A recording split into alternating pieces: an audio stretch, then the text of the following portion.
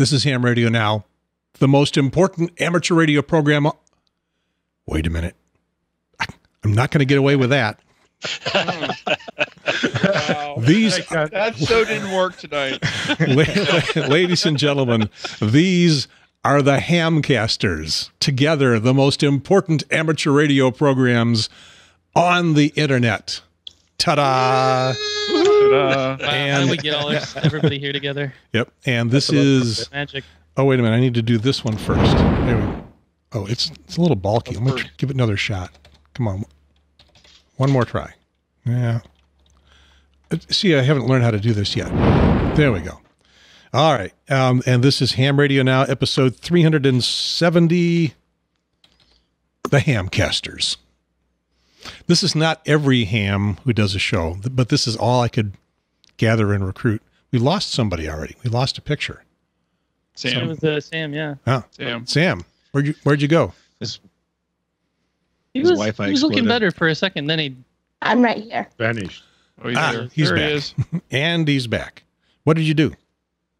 I have a uh, little rascal pester- pestering me right now. Oh, perfect. I should have some cats here in a minute. So uh, I just I wanted to do a show a little, uh, and, and David, we had nothing planned, right? We've been working on a few things and nothing Yeah. came through. So I thought, Yeah, well, let's just invite a bunch of other podcast hams onto the show and um and then Sam's chasing his rascal again. and uh and and um and we'll do a little, you know, pre-holiday show and and see what you guys are up to. Um and in uh let's see, how can I do this? Maybe from this camera. Yeah. Mm, that's not. Yeah, yeah, that'll work. In in the order selected by Skype, we've got um, Curtis. um, Curtis is it much more right? Yes. KC5CLM and Nope. uh, Nope. K5's the K5CLM. I'm going to screw everybody's call sign up. Um, and your program is Everything Ham Radio. That is correct. Everything. You leave nothing. Everything. You leave nothing out. Well, I'm sure I have not done something yet, but we'll get to it. Um, and and this is going to be important for Sam because of Sam's most recent show. So we'll get to that in just a minute. I mean, probably be our first thing to talk about. Um, in the next on the hit parade is our co-host uh, David. Who I don't I don't have enough titling capability for everybody, but I have one for you, David. All right. I'm honored. Okay, yeah, Facebook and the rest of our audience. Yep. And And um, I, I, I'm so glad you thought of this, Gary, because I was just thinking we should like have like a you know holiday equipment episode or something. it's been This is more going to be way better. This will be more fun. Uh, and uh, next, once again, uh, in an order determined by Skype, is Dan Romanchik, KB KB. Okay, look, let me look at it. KB six, Five N. No, KB five Six. N. KB Six? six Six. NU. Six. Okay. Yeah. Okay. You have an unhealed relationship with five and six, don't you? I do. I, I, and I, normally I make everybody a four, yep. but and, you know, it's, evidently what I'm doing tonight is just doing a, a you know minus one subtraction, and um, and Dan, your show, the, well, the show that you appear the most on is um, the ICQ podcast, right? That's right. We'll talk about that a little bit. And you've got your own uh, your own blog, and I'll give everybody a chance to to talk about their thing in detail in a little bit. Uh, in the upper right, coming and going. Let's see if we can get him to come and stay for a moment. Is Hello. Sam Reynolds? The, is that your pest behind you? Okay, you're getting photobombed. Sam Reynolds, the ham kid. Uh, Sam is KM4WDK, and he is a YouTube star. Um, and Let's go with heading heading down um, into the lower left hand corner and coming to you, ladies and gentlemen, all the way from Australia, which means your picture really should be upside down, but but it's not. yeah, right. No worries. Onno Benschop, VK6 FLA B. B. that just looks so wrong as a ham radio call sign. we've been told that. We're Going to give you a chance. going to give you a chance to explain that in in a bit. Uh, in the uh, lower center box, this is uh, like um, uh, Hollywood Squares. I mean, the last time I did the last time I did a show like this, um, it, it was I think it was Don Wilbanks who said it, it was Hollywood Squares. Okay, so here is Sterling Coffey, N0 SSC. Hey Sterling, Hi, everybody. you were from uh, I the phasing line, and I couldn't get your buddy Marty, your partner yeah, in crime, he's on probably tonight. busy working um, either K- uh, VY1 AAA or, or KR1 DX because sweepstakes going on. Okay, So he's probably running a remote station right now. I'm almost certain. um, Yeah, we're phasing line. I'm also a YouTube star. Uh, as those are your words. and uh, and finally, last but not least, and again in an order chosen by Facebook uh, or by Skype, is Bill, Stearns, uh, NE4RD, a call sign carefully chosen from the. Vanity program. And uh, and you come to us courtesy of a bunch of programs, but uh, I the um, I was gonna, I was going to push you back in the ICQ in England. It's the Linux and the Ham Shack, That's and correct. you are a correspondent for Newsline. That's correct. Okay, so So I, I occasionally do YouTube stuff. Not quite the star that Sterling and the other guys are. Okay. Um, and I'm going to be cutting Sam's head in half. Apparently, sorry, Sam. You've gone. You've there, gone Sam. narrow on me. Oh, picture so that it looks like I'm there, even though I'm not. ah, you've gone for. Okay, so you're. It's a very intense expression. yes, every, everybody just goes and still. silent. Everybody goes still like this and, uh, and staring into the camera. All right. Before we start the rest of the show, I have to I have to show off a little bit. Um, because this came in the mail the other day. And this is um, the YASME Foundation is in the 50s. It was a foundation that was um, set up to to provide uh, funding for DXpeditions, and now they do funding for uh, anything worthwhile that they feel like doing. And um, and they sent me a thousand bucks. Wow. Wow. Congratulations. Yeah. Pretty good. Yeah. That's awesome. Yeah, for um, well, it says here to help defray expenses associated with the Ham Radio Now series of podcasts, quite valuable in sharing information When among amateurs. I get that? You're going to have to work for it a little bit more. Gotta work harder We'll there. talk, we'll talk about that, particularly the technical present the, tech the technical presentations at conferences. My editing and presentation are uniformly of professional quality until tonight's show. Okay, well, yeah, that's what I was going to say. We're bringing the standard down for you. and they are greatly appreciated by the amateur community. Please accept our thanks for providing ham radio now, and we are pleased to help it continue. Your efforts on behalf of the of amateur radio are appreciated, and the president is uh, Ward Silver, N0AX, and I'm sure this has nothing to do with um, me putting Ward on ham radio now multiple times, primarily doing talks at the TAPR conferences.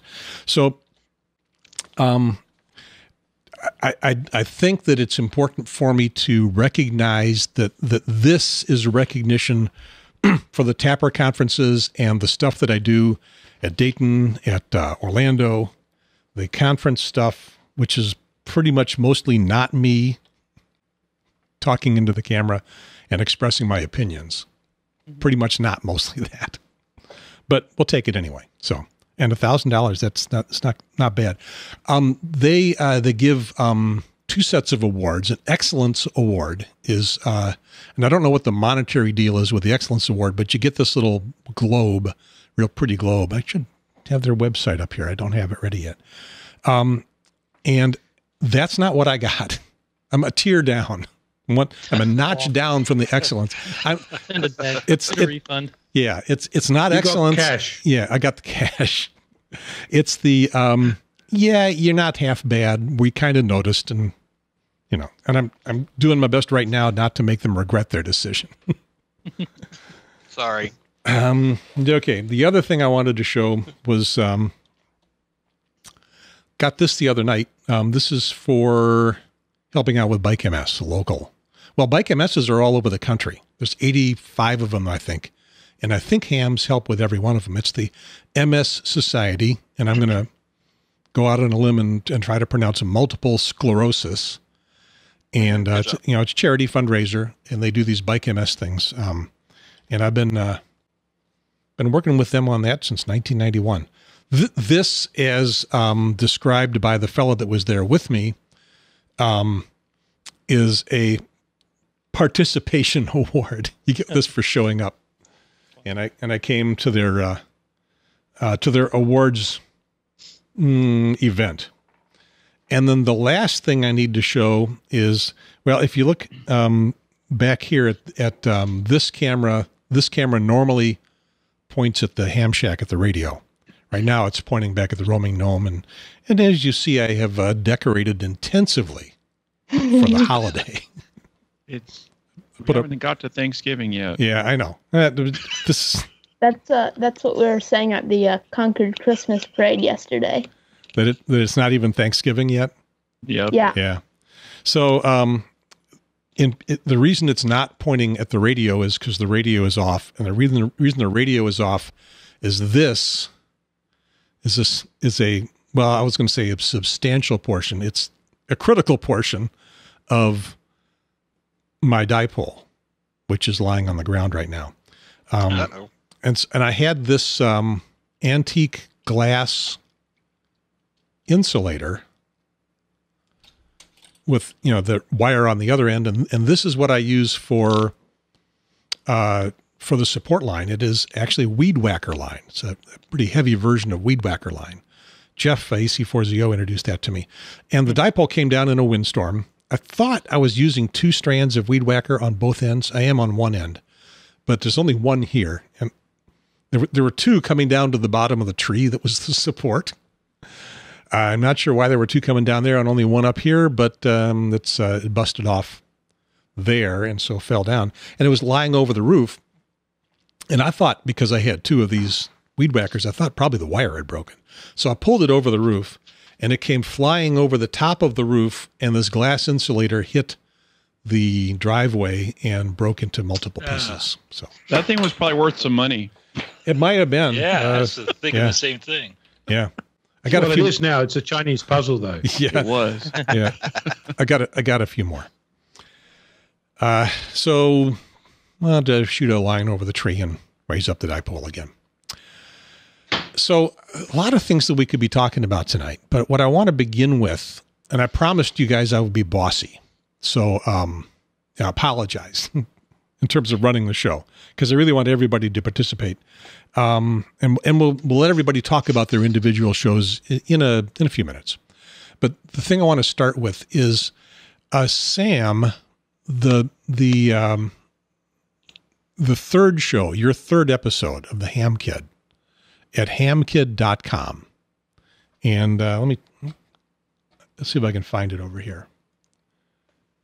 Uh, that's not it. That's not it. I know I got it here somewhere. There we go. That's you at hamkid.com, and which takes you to the YouTube show. And so you've got episode oh four, why I haven't been posting lately, and it's uh, it only runs a couple minutes. Let me play a little bit of that. Hey guys, You're gonna get um, another it's takedown. Sam, the Yeah. ham kid. Um, Sam's going to send me I a know I takedown. haven't posted a video in a long time. Uh, three, four, a long time, uh, multiple months. Um, and the reasoning behind that is I just haven't had ideas on Okay, I don't think we need to go any farther. That's you know what We're what am I know going that feeling, right? ideas. Yeah, Yeah, Been absolutely. there, been there, done that. yeah. So um, What do you talk about next? Yeah.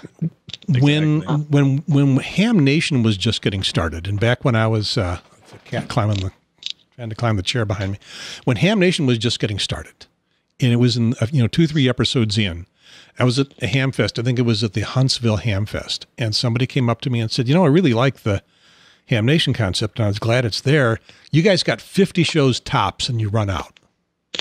No more topics. You're done. Fifty shows."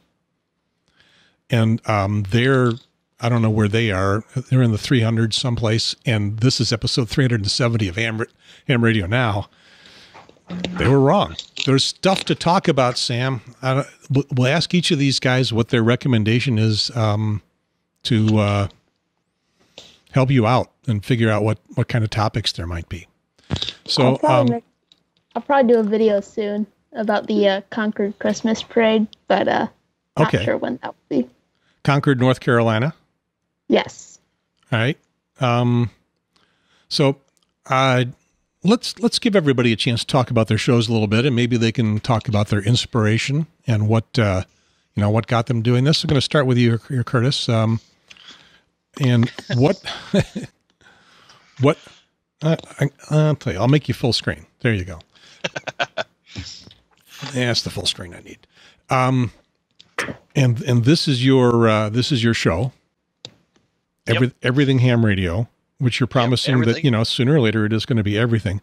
But what? Sure. How how did you get into doing this? What what wild Well- hair caused you to decide you could be a TV star? Well, not a TV, but definitely radio. That's for sure. Uh, basically, what oh, that's right. You're, you're an audio show, right? yeah, just just an audio show. Uh, basically, what it was was uh, about 15 or so years after I got my license, upgraded all the way to extra, and had been doing this forever. It seems. I was giving a test one day, and I decided just kind of got a wild hair and said, "Hmm, I think I'll try and take the test too." I tried to take the test and I failed miserably, like a 40% or something like that on just the the technician class. And mind you, I've been an extra for 12 years or so at the time. And so I'm like, you know, I'm sure there's other people out there that are in the same boat as I am that, uh, you know, might have forgot something or just didn't know that something was there. So I'm like, you know, I'll just start a blog. I've always loved writing ever since I was back in high school. And I'm like, you know, let's do that. So I did that for about a year or so. And then I came up with the, uh, I found the, the podcast app on my uh, iPhone and I got messing with it and realized that there's ham radio podcast out there. And so I started to listen to them, and after a year or so blogging, I'm like, well, let's let's give this uh, this uh, podcast thing a, a shot. Maybe it will decrease my workload a little bit on my blog. Well, it just kind of Yeah, right. multiplied it, and yeah. So now I do a, a bi-monthly uh, podcast. Uh, was doing a week a weekly one up until uh, we adopted four kids and my workload got even more. So, uh, yeah, so now I'm doing it twice a month and uh, still going strong. I got uh, episode number 92 coming up uh, this Thursday. When did you get started? Uh, first episode was was released on January the 12th, I want to say, of 2016. So almost two years now. Okay, and let's see. You are oh, episode ninety one. I can see that. Um, and how how do you do this? What um, what's your uh, what's your technology?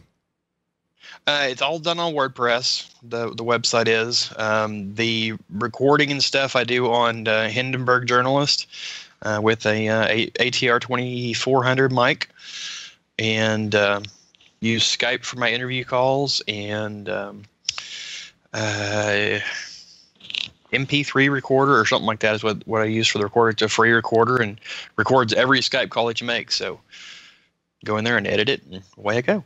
Okay, so if you've got a fancy microphone, why are you talking on that crappy headset?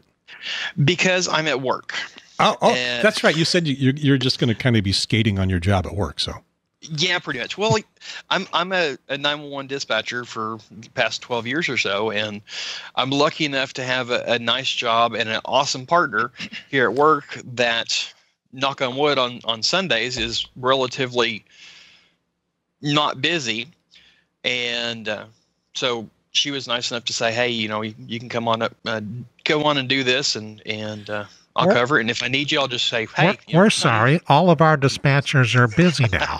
if you have an actual emergency, please call Tyler, Texas. It's just down the road. They'd be glad to help you. One of them is on a Facebook Live uh, video right now, so you can watch them right now. Yeah. okay, so so you got somebody covering for you, but you may have to run at any minute if uh, the poop hits the prop, so to speak. Exactly. Okay, So if I Um, disappear, that's probably why. and and so where do you come up with your inspiration for doing programs? Where where do you do you ever feel stuck? Oh yes, as a matter of fact, I am right now. I mean, I've been uh, my last episode went out a week and a half ago or so, and here I am scrambling for an idea for this Thursday, which I'm going to have to record either tomorrow or the next day. You know, it's always something. You know, I'll, I'll come up with three or four uh, items to talk about for three or four shows, and then it's nothing. I can't think of anything, and you know, it just kind of goes in cycles like that. Well, now it's like you know, I have uh, tomorrow and the next day to do my recording for this week and do all the editing and all that and the show notes and, and all that. And I have no idea what I'm going to talk about. So, so, so this, I got this strange email from this guy who claims to be a ham radio YouTube star, and he asked me to be on his show. So here's what happened when I went on his show, and then you just grab my audio and you play it. You're you're all set. There you go. Actually, I'd be glad be glad to forward the audio on to you if you want. Yeah, well, I'm recording it anyway, so. ah, okay. there we go. So, um, and then when when inspiration does strike, um, what uh, what does it feel like? What you know? What, when does that happen? Like two thirty in the morning? Sometimes, you know, it, it, I work I work until midnight every uh, every shift, and so it's a lot of times it's like when I'm driving home or when I'm driving to work, it's like, okay, well, I can talk about something like that. Or I hear something uh, on another podcast, they ask a question, or I see a, you know, in the in the Reddit forum, somebody asks a question, or on QRZ or something like that. You know, anytime somebody I see somebody asking a question, it's like, okay, well, I can talk about this. I can answer that question, and not only will it help that person, but it'll also help all those other people that might have a, that same question but not know where to, to find the answer. Have you done your version of NCIS Newington yet? no, that was one of the things that I was going to talk about this this next episode. Because yeah. last episode we did our, our Christmas uh, shopping list, and it was like two and a half hours of talking about all kinds of stuff that that I would love to have on my Christmas wish list, but that ain't going to happen. All right, because uh, I, I think that um, everybody can join in on this Newington thing or the Newington oh, yeah. thing, the NCIS thing. So, you guys got any questions you want to ask Curtis? You're all you're all podcasters. You're you're all good at interviewing and asking questions. What what do you want to yeah, dig into everything ham radio? At, at, least two of y'all have been on my show, so actually three of y'all have been on my show.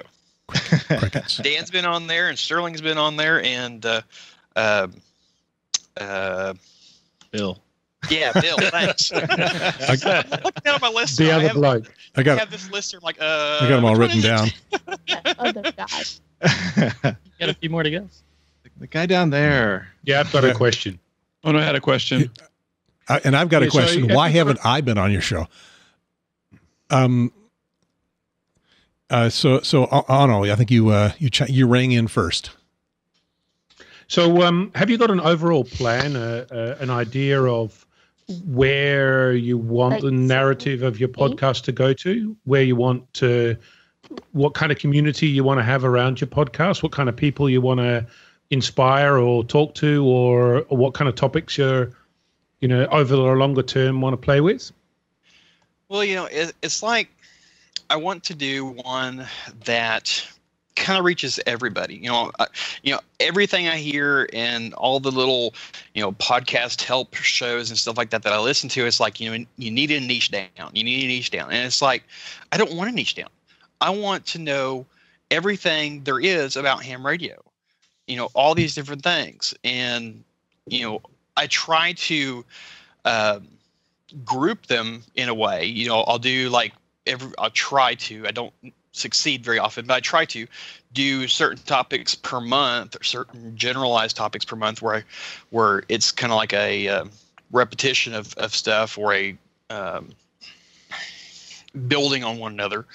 Um, you know, maybe one month I'll do stuff on emergency communications, or one month I'll do stuff on uh, expeditions and working HF and contesting and stuff like that. And, and then another month I'll do, um, you know, stuff like uh, building stuff or you know stuff like that. So I try to uh, make them a themed month. It doesn't always happen, but you know that's the way it goes. But generally, you know, like like my title says, I want to know everything there is about ham radio, and you know, I like I like to think that I'm the one-stop shop for anything and everything ham radio. So eventually, I will get there. I'm sure I still have at least another hundred or two hundred or three hundred episodes here, but you know, eventually I'll get there. They won't, well, ham radio keeps changing, so they'll never end. Uh, Dan, did you did you want to chime in? Uh, no, not really.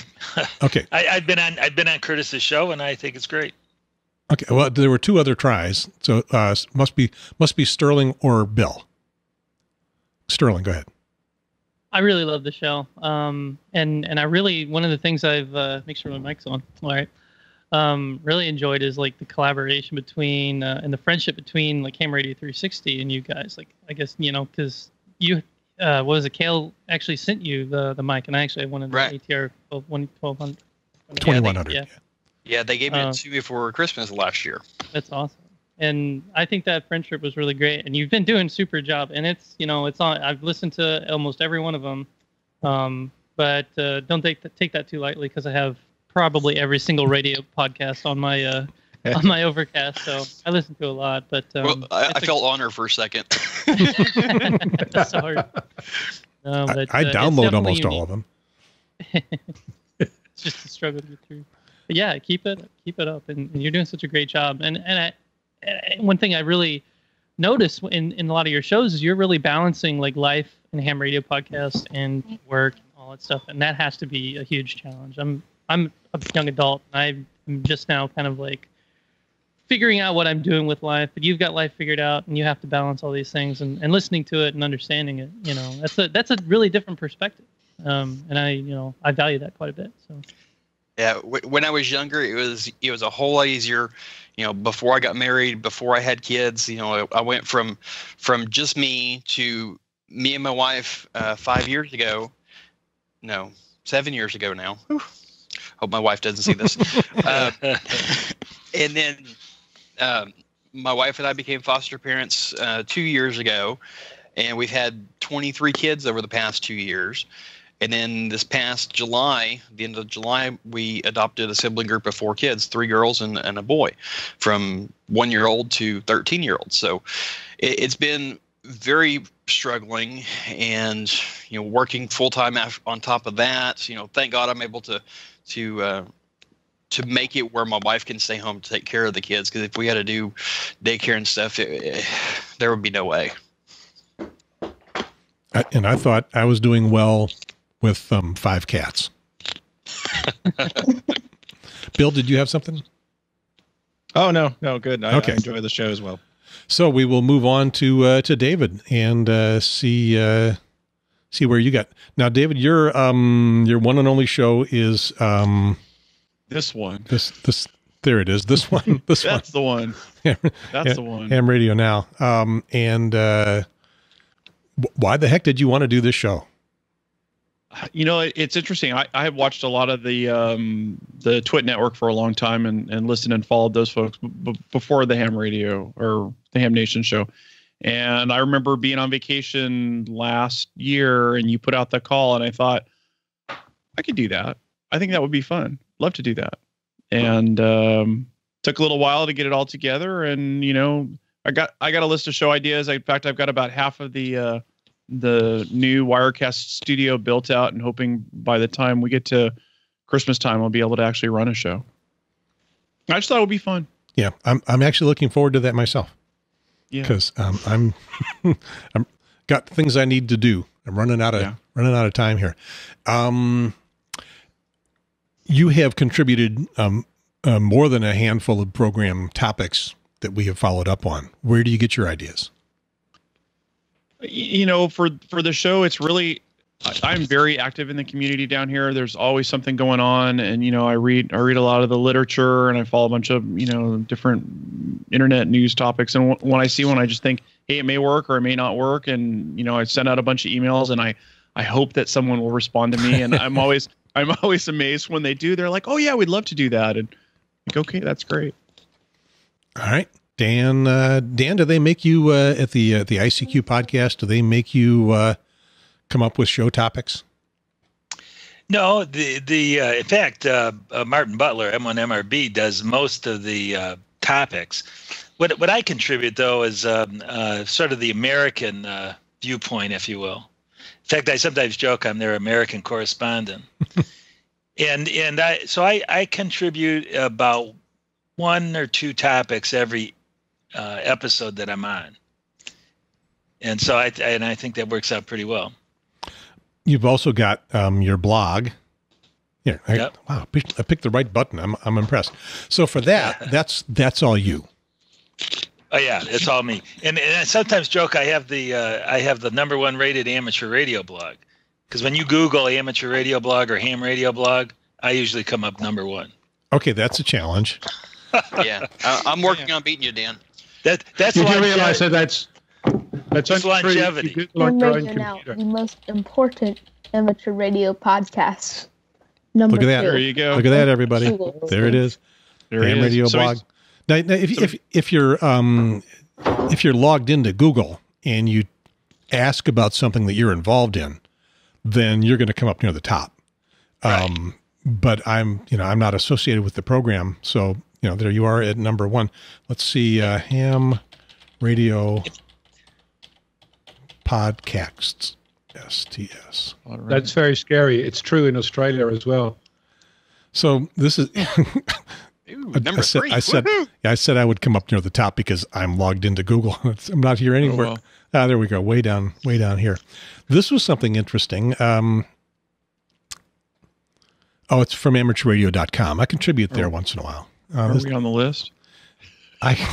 I, I hope so. This is a, this is um, almost two years old. Uh, so let's see. Some familiar faces there. Yep. Yeah. No, we're not on the list, and I'm a Not on- contributor. I'm not on the list. I've been trying to be a contributor. Okay. Last time I send them anything. Um. Okay. And Uh, top 20.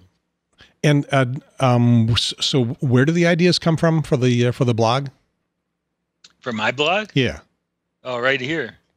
Well, yeah, but what's the what's the No, so so so I'm on I'm on you know a lot of now since I do have such a popular blog, I get lots of emails from people asking me, you know, talk about this or cover this. I'm on uh, Twitter. I'm big on Twitter. I have over four thousand followers on Twitter, um, and uh, Reddit. I and I go to a lot of ham fests and people tell me stuff and I write about it. Okay, so it just you know experience and uh, Yeah. and and ideas that just you know happen to float into your head. Yep. I- I'll uh, uh, give away one of my secrets. Um, Google tells me stuff. Um, Yeah. and, and on on my phone, uh, one of the things in, in the Google, uh, I think they call it the Google Assistant. It says, "What well, what are you interested in?" And of course, I put in amateur radio. It keeps tossing me stuff, which I keep tossing over to David, and then uh, And I follow up. yeah, And you can sign up for you can sign up for a thing called Google Alerts. yeah. And Google Alerts will send you news items, and uh, that's one of the things I do on my blog is amateur radio in the news, and I get the, that all from Google. Yeah, I do the same thing there too. Yeah, It- It's not you a know, high volume of things. No, but and you don't and you don't want to blog about that or cover it that too much because it's too much. But uh, you know, once every couple of weeks, there's good news stories.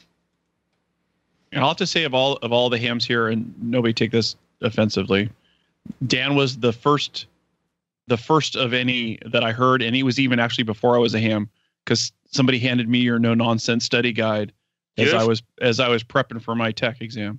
Beautiful. I get I get more than twenty thousand downloads of that thing every year. Yeah. Wow. I think that's the uh, one I used. Beautiful. Yeah, and I and I always rep it to everybody I can because it's like free, easy to get, PDF, be on your phone, on your wherever. So Yep. And I, I sometimes joke that my study guides are the only ones that come with tech support.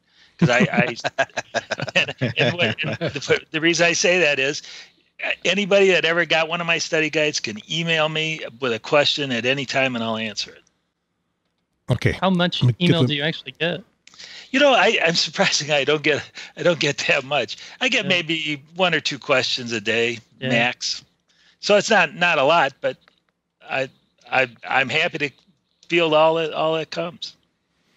Okay. So um, KB6NU com, Right. and that's Right. uh, where we find all of your stuff.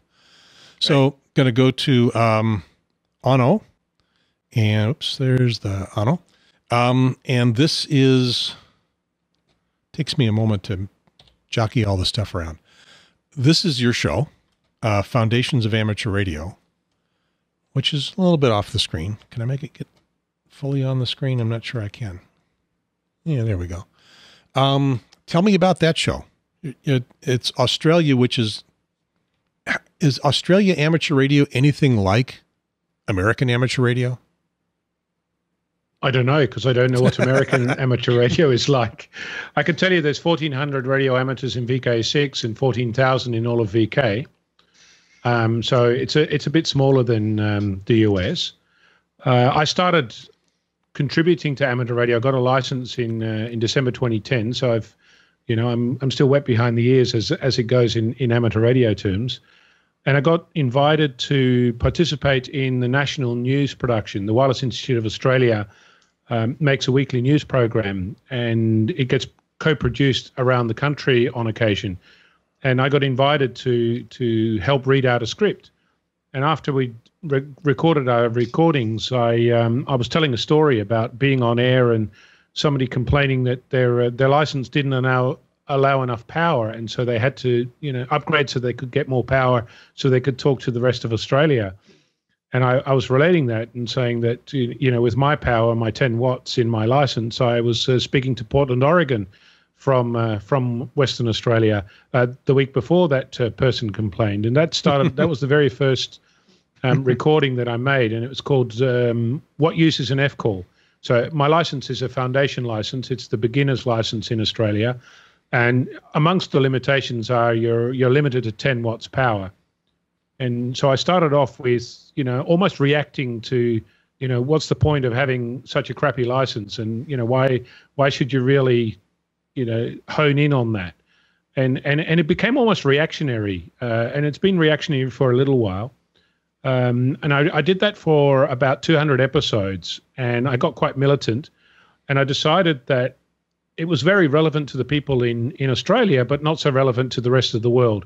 So i renamed it and i called it foundations of amateur radio and um, continued on. I, I became a little less militant and uh, instead started focusing on the things that excite me about amateur radio.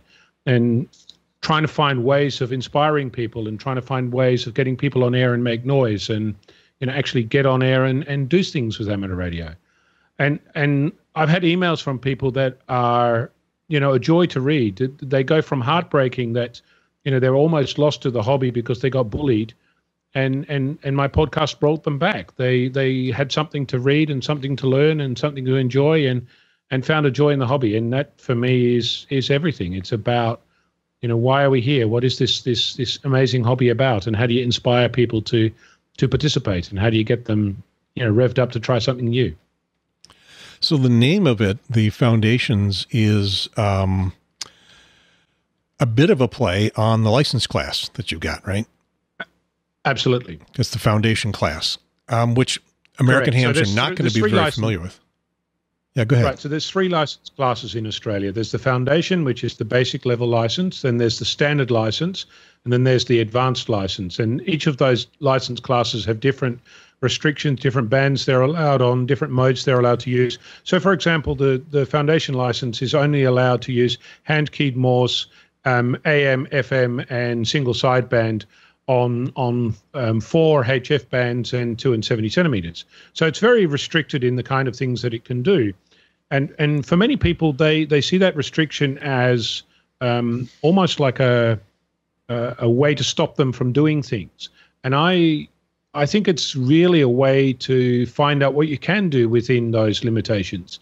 You know, we live in this world where the sky's the limit and everything should be possible and you know, I want everything now, but if you actually have a wall around what's allowed, then you can try and find ways of exploring what's possible and what's not possible. And I think that that's how I'm how I derive my uh, my excitement and how I, you know, find new things to talk about.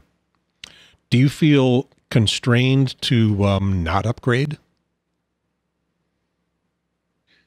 In a reverse kind of way, I do. Um, it's almost like I've dug a hole for myself. So I've got what what would happen is people would come up to me and they would find out who I was because they'd heard my podcast or they'd heard my contribution on the news.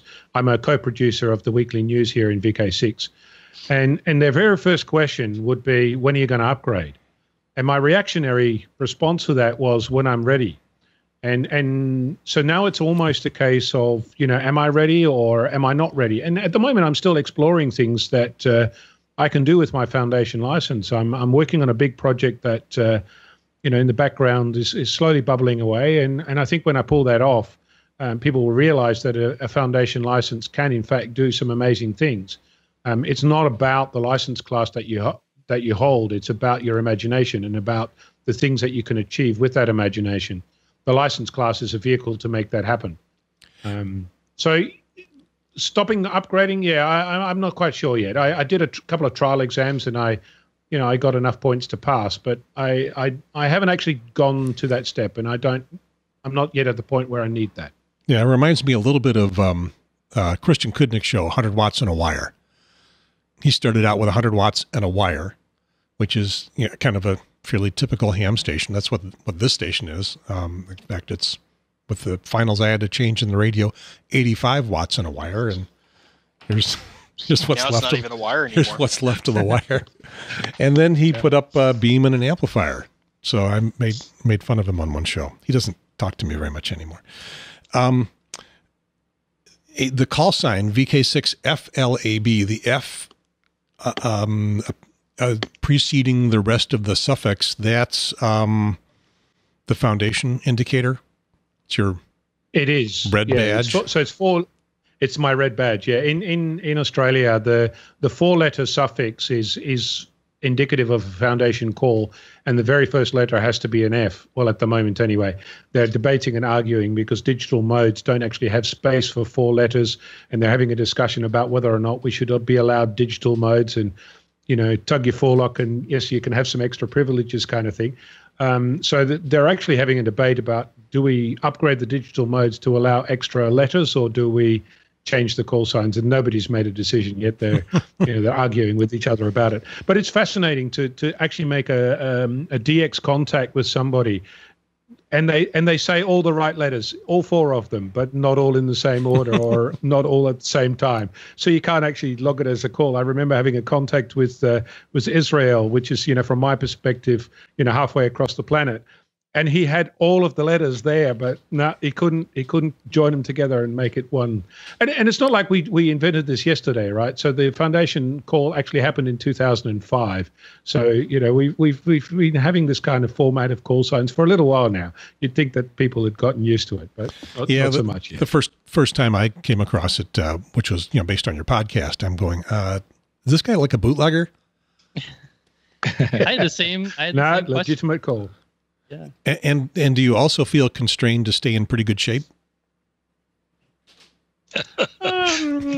These guys are getting it. They're slow. Still going. Oh, I get it. Uh, I don't. uh, F L A B. Maybe that's just an right, American yeah, yeah, term. sorry. Yeah, no, no, no. I got that. Um, it's been a while since I've heard that joke. Um, so, so my uh, my uh, my call sign was randomly assigned by the Australian Communications Media Authority, that's the equivalent of the FCC. Um, I actually thought when I got my license that I was going to go straight on to an advanced license because I, I got into amateur radio the very first opportunity to learn how to fly a drone, and I'd been told that you know you can use more power on the Wi-Fi bands with an amateur license. So I said, "How do I get an amateur license?" And you know, a weekend later, I had a call sign, and and I I didn't really have a whole lot of stock in this call sign, so I just let them randomly assign one, and thought, you know, that'll be fine. I'll I'll I'll I'll move on to the next call sign very quickly anyway, and I'll pick a real one, and um, it stuck. Uh, and yeah, so somebody with a with a sense of humor, absolutely at the ACMA. If uh, if you did upgrade, would you be required to lose that call sign? Yeah, you can't uh, hold a foundation call sign and operate as an advanced station at the same time. I could still operate my foundation call sign as a foundation holder, so I could operate with 10 watts on the bands a foundation license is allowed on, but I couldn't operate on a band I wasn't allowed on as an advanced amateur whilst using my foundation call. So you can have um, dual licenses in two classes at once. Sounds like Correct. Huh? interesting. Yeah. Okay, any rest of you guys want to uh, dig into Australia? Uh, I got a quick question on on your call sign there. Can, I mean, do y'all have the like a, a vanity program like we do here in the U.S.? I mean, can you have like when you get your advanced, can you have a potentially have a call sign where you just drop the F off? Yes, if it's sound- not taken. Um, I get what you're saying. Um, there are uh, two-letter call signs. There's not one-letter call sign. So you, there is no such format as VK6F. That doesn't exist. There's a scientific call sign that could fall under that, but you can't use it on the amateur bands. Um, and then there's two-letter call signs for advanced and three-letter call signs for uh, standard. You know, v- very roughly speaking. Um, and you know, if it's available, you can have it. It's not a, an actual program to pre-allocate, and it has to be in the core area that you are actually registered in. So you could become VK, um, VK, wait a minute, five, six, Six. LAB, for example. You could Yes, become, and, if, if it was available. one of my friends actually had that call sign for a little while, and I got to tell you, everybody got very confused because they were wondering if it was me. So is it au- is it automatic if you if you had um if you take the next level? Do they just drop the F, or you you keep that and No. then you get assigned another random? Yeah, you get another call sign. You can either another apply or get a random one Got it. assigned. Yeah. Got it. So, Any of you guys have a uh, ever have a novice license besides me?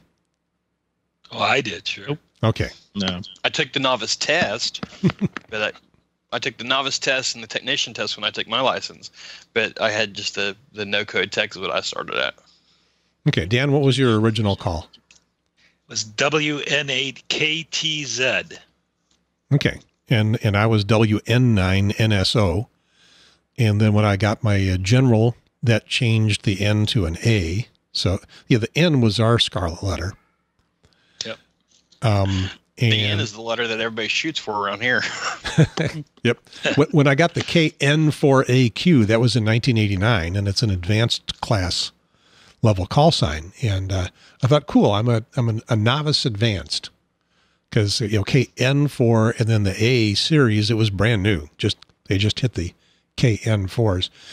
It's been difficult because um, the KMs had been around for a while, and so I was constantly KM and I was going, this is KN4AQ, Kilo November. And then on um, contests, which I don't do very much, with N is a legitimate prefix all by itself. K is a prefix all by itself up here. So it, I became K4AQ or N4AQ, and it was forever getting KN4 across. Now it's not so bad. People getting used to it. And we are So in the the- KN4 in- by threes now. So in Australia, all prefixes are VK and then a number, and the number is the state. So I'm guessing that in the United States it doesn't work like that. Uh, the numbers are um, geographically assigned, but it's more than one state because there's 50 states and uh, only 10 numbers. So, So So what about example, the the- multiple letters? Uh, it's um, a technician level or a general level is three letters, three suffix letters. Advanced, which is a, a um, an obsolete, yeah, deprecated license, um, is uh, was a two by two, and then the extra could be a one by two or a two by one, and they ran out of all of those, and you can only get them by a vanity now. Um, and so the extras became two by two as well, but a different series uh, uh, in the AA through AL. Um, right, and and, and here you can have a prefix that starts with an an A, an alpha, a kilo, a November, or a whiskey. Yeah. and it's all completely random. Yeah, because we're the United States. You know, we're in charge of everything. Yeah. Yeah. Yeah. Very Yeah, random. we're consistent. So so how many how many licensed amateurs did you say were were down under there? Uh, 1400 in VK6 and 14,000 in all of VK. In all of VK. And about how many listeners do you have for your podcast? You track that? Um, I get I get about 2,000 downloads a day. Whoa, that's a pretty. day. so And most, wow, of those are, most of most of those are in, in the US, mind you, they're outside. Yeah, I was going to say outs, outside of. outside of VK. Yeah, Okay. wow. Cool. there's a few VK listeners. I get emails from them. I've got a few as well. I think, although I think it might have been you. I'm not sure. No, I get a few, and, and, and I've got one. I'm sorry, Sam. Go Very ahead. Nice. I have what four or five hundred uh, total views. Um, let's. Yeah. Uh, You got to start somewhere. Yep. Yep. Yep. Yep, I was there before. You have to remember I'm up to episode 300 and mumble, so you know, and and they're all up. So people, you know, keep going back to old ones. You know, I look at a, at an old random episode, and it's got the most hits of all of the episodes ever downloaded. It's like, why? Oh yeah, I have some weird videos like, what? that. Yeah. so Sam, I you- really- did good. Sam's got Five 78 months, subscribers, and your shows are uh, they're your your Baofeng uh, episode is your biggest at 300 437 views and 133 for public service and your I don't know what to do with this show is only a week old and sitting at 31 so not My Baofeng video on my YouTube channel also got the most views, just because it's like super popular. So. yeah Right, so I'll be making a show about Baofengs then. Let me write that down. Yeah, Oh, you want to know how I got my ideas? This is how I do that. wonder if they did a did it will it blend episode with a Baofeng. There you go. we could. Hmm. Why don't we do that now? Who's got a blender? if I want to ruin a blender, I'll do that. I don't think Yeah, Cindy would want me to try that Yeah. maybe in a microwave would be Uh, fun These like ten dollar Baofengs that you have to program with a cable, and one of them isn't programming. So I might as well blend it. Yeah. okay Sterling you I are up finally can program it mine with the uh, cable. Oh yeah. Yeah. We're going to skip you, Sam, um, for the moment because you know, we're kind of aiming at giving you ideas here, although it, it's that's kind of sort of in the background there. Sterling, you've told your story a million times. Okay, this will be a million and one.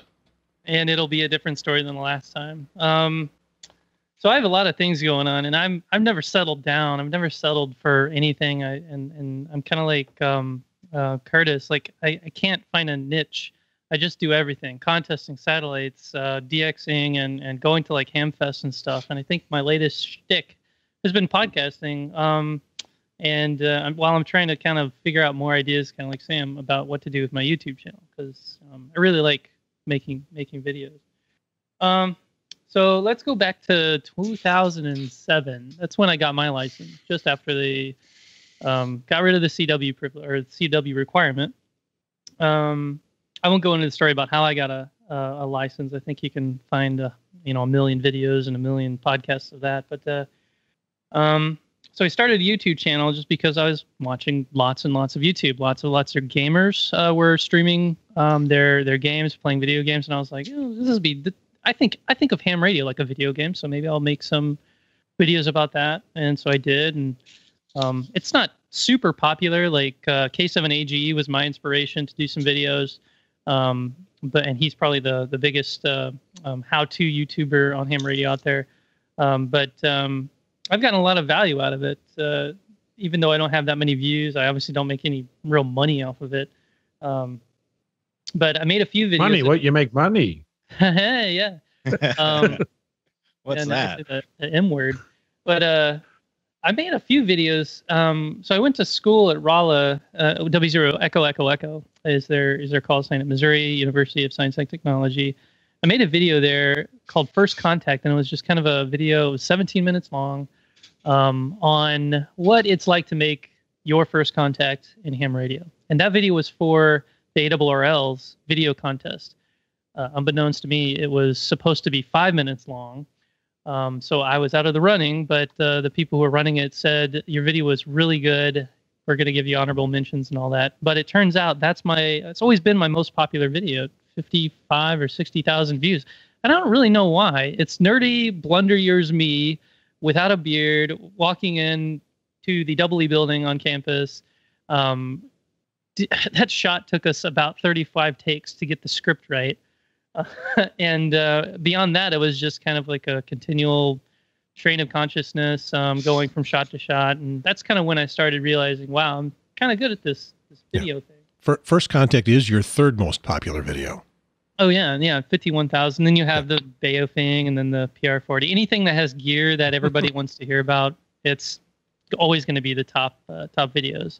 And the next best ones are going to be like how-to and, and satellites and uh, things like that. So, um, and I guess my overarching mission is like I realize I'm the only young person like out here doing this, um, I'm, or I'm at least one of a few. Um, so I guess I had a lot of a lot of leverage, uh, not really leverage, but a lot of opportunity to um, kind of stick my hands into or stick my feet to, into a into a whole new market. Now it hasn't really worked out that way. There's no market because of young hams because there are very very few young hams out there. Um, but um, what I found, in fact, just yesterday I was down at sweepstakes, uh, the ARRL sweepstakes contest, and I met a freshman there at the University of Missouri at Rolla or Missouri S&T is the correct name. He apparently watched one of my videos. I think it was the first contact video, um, and realized, oh my gosh, that's here. That's at this university. I record, you know, where I recorded it, and that basically inspired him to go to the club, get a license, and do all that. And he was there running stations and and, and getting interested in, into the into the hobby. And I was just like, I was I was crazy. And I think he even got that on video. So I'll be making another video of uh, the sweepstakes. Zero Echo Echo Echo Kilo Zulu Two Whiskey uh, 73. 73. Uh, QRZ Whiskey Zero Echo Echo Echo calling CQ for a school club roundup. November 2 Whiskey Golf School Club. Yeah, that brings back memories. I should have got a better haircut when I did that. we we all have embarrassing pictures of our youth. Yours is just a little closer to today. Yeah. So so there's YouTube. Um, fast forward a little bit to I think 2010. I was still in high school, um, or 2009. I had friend uh, a friend Jacob Keogh and Joe Andrews, KD0 NVX and KD0 LOS. They were both um, a little bit younger than me, um, and we decided to start a podcast because at that time podcasts were getting super popular. So we started the Youth and Ham Radio podcast, or YARP. I think we got to about 10 episodes. Um, Jerry, KD0BIK, he runs the Practical Amateur Radio podcast, PARP. So PARP, YARP makes sense. He was hosting it. But after about 20 or so episodes, we got busy, high school. Some of some of us graduated. Some of us were just like struggling to get through classes. So it just kind of went by the wayside. Um, I'll also shout out to Matt Chambers. I forget his call sign. I think it might be NR0Q now. Um, so we had that podcast that kind of fuzzed away and then we went all the way i did a few youtube videos here and there um, all the way to now where i was like i want to get back into this so marty uh, everybody knows marty um, he's still he's a good friend of mine and he's actually reached out to me through youtube about like he's watched my videos. It's kept him inspired kept him up to you know up to snuff. And i was like holy cow the young ham of the year is coming out to me. And this was before that. But I, I knew him from contesting fame and he was like real big name in, in contesting and everybody knew him. So i was like man i got to get this guy. We got to get ourselves together in one place so we can like you know battle it out on you know our debates. And and you know just talk. And at the time i'd been listening to a lot of two dudes and a mic kind of podcasts the ones that are getting like uh, super popular or three dudes or four dudes or you know women as well. Um and i thought there's no podcasters or there's very few podcasts that are just kind of a general interest no topic just general you know shoot the breeze kind of thing. So that's that was my idea. But with the kind of background that this is two young people. I'm 25 he's 15 or 16 at this point um, two young people talking about ham radio and the idea is maybe this will help inspire a couple more young people to get into the hobby as well as the older generation to see that there is interest and um, you know give younger people some resources like hey there's this podcast some, some young guys Th- that's Girls. that's T W O young people, not T O O young people. exactly uh, but yeah so and um, we even i even tried to do another one called the noisy key as opposed to a silent key which is kind of a morbid um, naming thing but a noisy key meaning like a person who's loud in ham radio. We got like four people involved me marty two other guys jacob but we couldn't get it around get it to the point where we could get everybody in one place. Um, but we wanted to do a youth roundtable similar to icq um, but with just for young people so i'm still kind of brewing that up if anybody is listening to this and wants to get on a podcast called the noise key if you're young and uh, want to chat about what you do in ham radio you know in general nothing no you know no, nothing specific you know i'm thinking about starting that so Now, was was the trouble in in getting that uh, to gel um, timing, interest level, Yeah. or or topics? Figuring out what to talk it about. It was really timing and interest. Um, we had, you know, our podcast going on between Marty and I, and then we had Jacob, who's finishing high school, and I think, uh, oh, let me remember his call, his uh, his name. He's he's on my Snapchat. Uh, KD, Who's the who's the Hiram Percy Maxim Award winner? Remind me real quick. He's gonna hate me for this. yeah, I can't help you. Sorry. He was a he was a young ham that's um, always on W5KUB. But that happens to me all the time. I know. I'm, I guess I'm getting older, and I'm, Yeah. I'm like, That's why. That's why I give myself a cheat sheets. oh, I, I started writing these down too. So, um, oh, it's uh, Chris Bro, Chris uh, KD zero. I'm gonna forget his call. Or KD eight. This this whole episode is gonna be me trying to remember. anyway, Chris Bro. I'm sure um, you can put in the notes or something that uh, you know him. He was also in the into this idea, but he was also really busy with school and stuff. So that's kind of the common common uh, denominator of young people is there's so much going on. Young people on ham radio. Um, I've even reached out to the the ARRL scholarship winners. Every year, the ARRL puts out a big spread of all the scholarship winners, and I'll go to QRZid, see if they have an active profile, send an email saying, "Hey, are you interested in like podcasting or getting an interview and all that stuff?" And I've had a, I've had a few replies. Um, we interviewed Emma um, on one episode of Phasing Line, and she was we did a video on the uh, uh, Oshkosh AirVenture. Uh, her call is KC9YGJ, and that's episode eight. I have that up on my screen, so I know what I'm talking about. So, we don't have any schedule. We just kind of like say, "Hey, Marty, want to get a, want to do an episode?" Uh, sure. All right. And I look at the ba- past week, and we think about like what happened. And there's surprisingly, once you're looking at Google Alerts and um, Twitter, and I have a Feedly account with a ton of uh, of ham radio blogs, um, DXpeditions going on, contesting. There's always something to talk about. Um, so I've kind of accrued of um, a list of, of things, and I also watch tons and tons of YouTube. Um, way too much. I, I watch it more like as much as people watch like daytime TV um, did in the past. So it's my uh, it's my version of TV and sports. So, but yeah, I've been told that, that young people pretty much don't watch TV. They YouTube is their TV.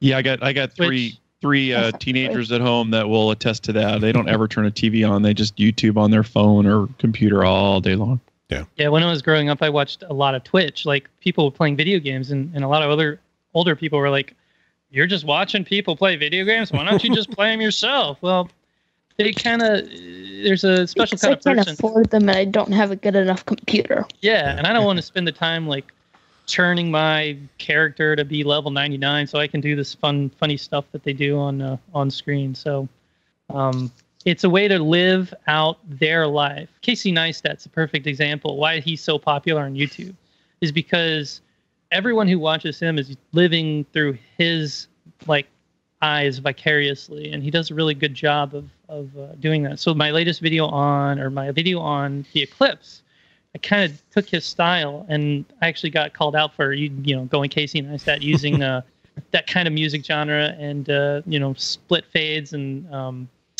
um, keeping things really short and concise and cutting myself off before it gets too long-winded. Um, things like little techniques like that. So hopefully you can see more. We'll see more of that on my channel.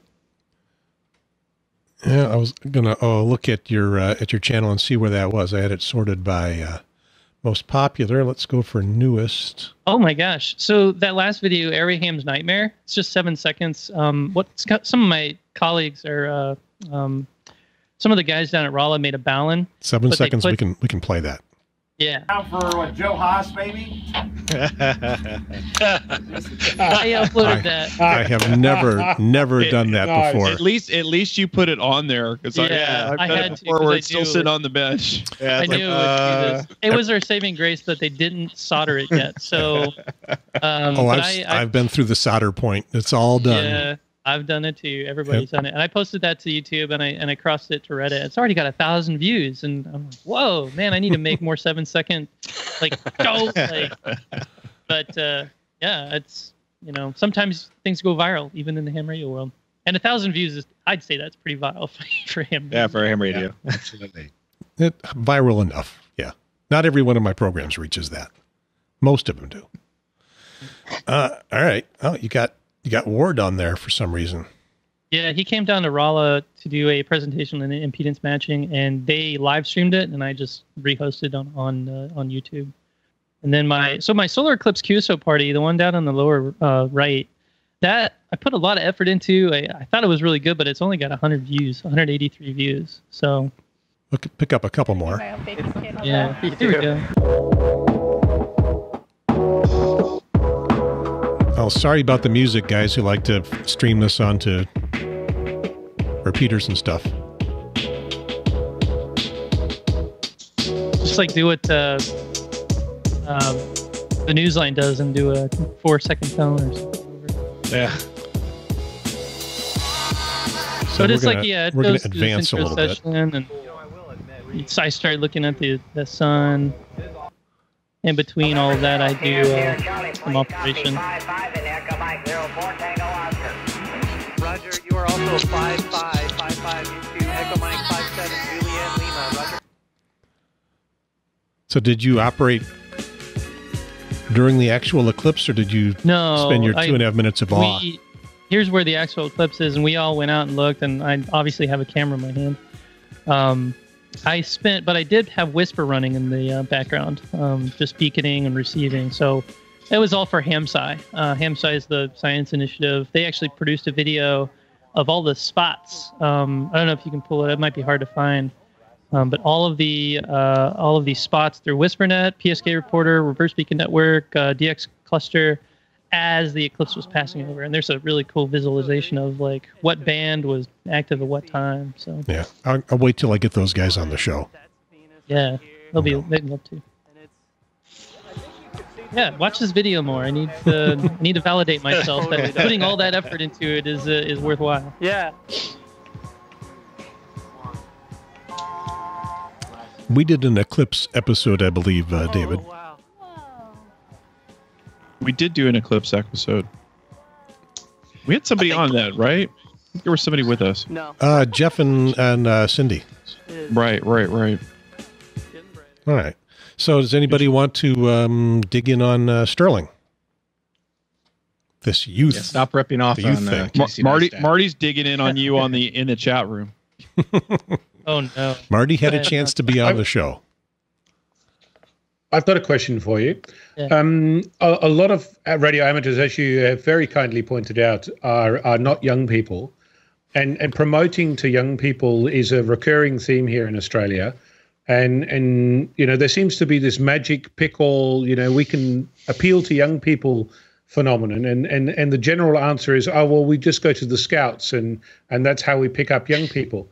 And and I got to tell you that it's just not working. Um, it, it you, it's it's you know you go to a field day and you've got a bunch of old crusty blokes standing you know around a radio shack and it's just not interesting. So Yeah. have you found um, another way to appeal to a broader audience? And I, and I'm not necessarily saying young people as a as a as a class. I mean it's the same is true for women. You know we don't appeal to women and Yeah. and it's not because women don't want to be in the hobby. It's because we're not exciting. You know it's it's very exclusionary I'm is what it looks like so how do you do that Well, I, I guess I'm weird because I went to that field day, um, and and the club. I'll use it as an example. Uh, the WA0 FYA Washington Zero Beaters, Washington Missouri Zero Beaters, um, did a field day, and I went down there kind of like worried and scared, like uh, I don't know anybody. I've been on the repeater a few times and checked in onto a few nets. Um, but I had a person come up to me and say, "Hey, have you uh, ever been on the HF before? We're doing a field day and we're hitting stations from California, Oregon, uh, Canada, all over the place. You want to come check it out?" And I was like, "Well, that sounds really cool." So I go over there and I listen for a while. He, they have a speaker set up and a pair of headsets, and put on a headset. The operator's working some stations. I think he was running, he was logging and everything. And after about maybe three or four, he's like, he pushes the keyboard over to me. And I'm like, what? What? like double thinking. Like, yeah, it's easy. Just, uh, just you know, I'll, I'll, I'll help you out. I'll write down what I, what I hear. Um, and so I did. He wrote down, and I just typed it into uh, N3FJP. I think we were using at the time. And then after you know a couple of QSOs, I was getting the hang of it. Um, and then he took the keyboard back and then hit a button to switch over the transmit to my headset. And I was like, again, like, wait, I have to talk. What do I say? And he had a pre-prepared script out there, like saying, all you gotta say is, you know, this, this, and this. And so I was like, whiskey, alpha zero, foxtrot. You know, I was trying to read. They actually had the thing, you know, laid out. So you weren't trying to. They didn't. They had the the words already in a script in uh, in phonetics, uh, in the whole exchange. Um, That's, that's few one of the uh, that's one of the better impressions of uh, a non-ham trying to yeah. you know stumble their way through a ham script I've, I've heard in a long I've time. been uh, practicing it because we just did this at, at sweepstakes. We we had a lot of people um, um, getting on the air for the first time uh, on uh, on the contest, and I had a script laid out. And you know, I'm, I'm saying this because this is I, this is kind of what I'm pushing. Um, and I'm afraid I'm not really answering the question, but I'm just like um, looking at how I saw it in the past, and and it wasn't about like all these old men are are so obtrusive and they're you know not paying any attention. The, the, the real kicker is it doesn't matter like if you're young or old. It's you have to pay attention. You have to be a good Elmer. You have to like when you're doing like a ham class. Um, and I know this is the the St. Louis Suburban Radio Club had a problem with this in the past, and they've gotten a lot better. Is that people come to your class, young people, but they won't stay with them. They won't stick with it. They won't assign basically, not officially, but just assign an Elmer or mentor to stick to that person um, and make sure that they follow through with like testing and studying and, and, and provide them with the avenue to actually get on the air because, you know, as a new ham, you're not going to go out and buy Baofeng and HF radio and all this and that. Um, um, so that actually getting people involved, getting young people involved and showing like, it's actually a lot of fun and it's exhilarating to make a contact with some random island in the middle of the Pacific Ocean. Um, it is a real challenge to to try to bundle those feelings up and then try to explain it to a person. The better way to do it is to show it, and I guess that's why I try to do it on YouTube. Were you? Um, you know, I think I think my my take on getting young people involved, and I teach a lot of classes, right? Is you know, you, I don't think there's anything you can particular do in particular to get kids interested. You can make it available, and as you say, be available as an Elmer. And I tell everybody that's ever taken my class to consider me their Elmer and ask me questions, send me emails, do whatever. I'll do whatever it takes to get them on the air. But but but I, I again, I don't think doing things specifically for youth Yeah. is going to do anything. You know, they A have to. of- You, you have to have an interest in the in the topic to begin with. a lot of people are gonna are gonna um, um, hate me on this, but in for the past like five years, everybody's been about digital modes. Digital modes are gonna bring in all the kids, get a computer in front of them, and they'll be on it like wildfire. But that's not entirely true because there's still this like aether, like this confusing. You know, it's still weird. You know, it's it's not like the end all, say all, end all, or end all be all. Like digital Yeah. radio is not going to suddenly bring young people to the hobby. Exposure is, you know, exposure on these avenues like YouTube, podcasting, Twitch, um, uh, classes, scouts, all that stuff. That's what brings. That's what's going to be bringing the core young hobby, as well as to my next point, like the software engineering, the the techie, like nerdy side of things, computer science, that sort of stuff, um, and and hackathons, that sort of thing.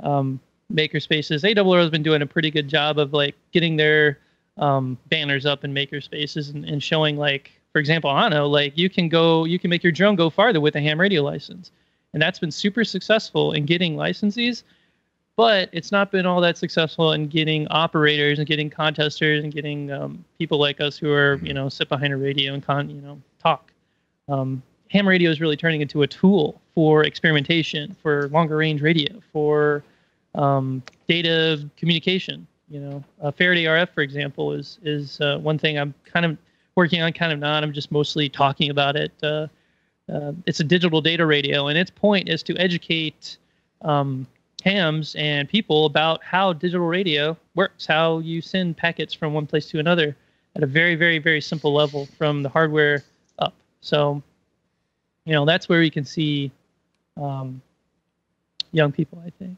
So, when um, when you first uh, got introduced to it, you know, and you were you know struggling your way through that script, were you hooked at that Yeah. point?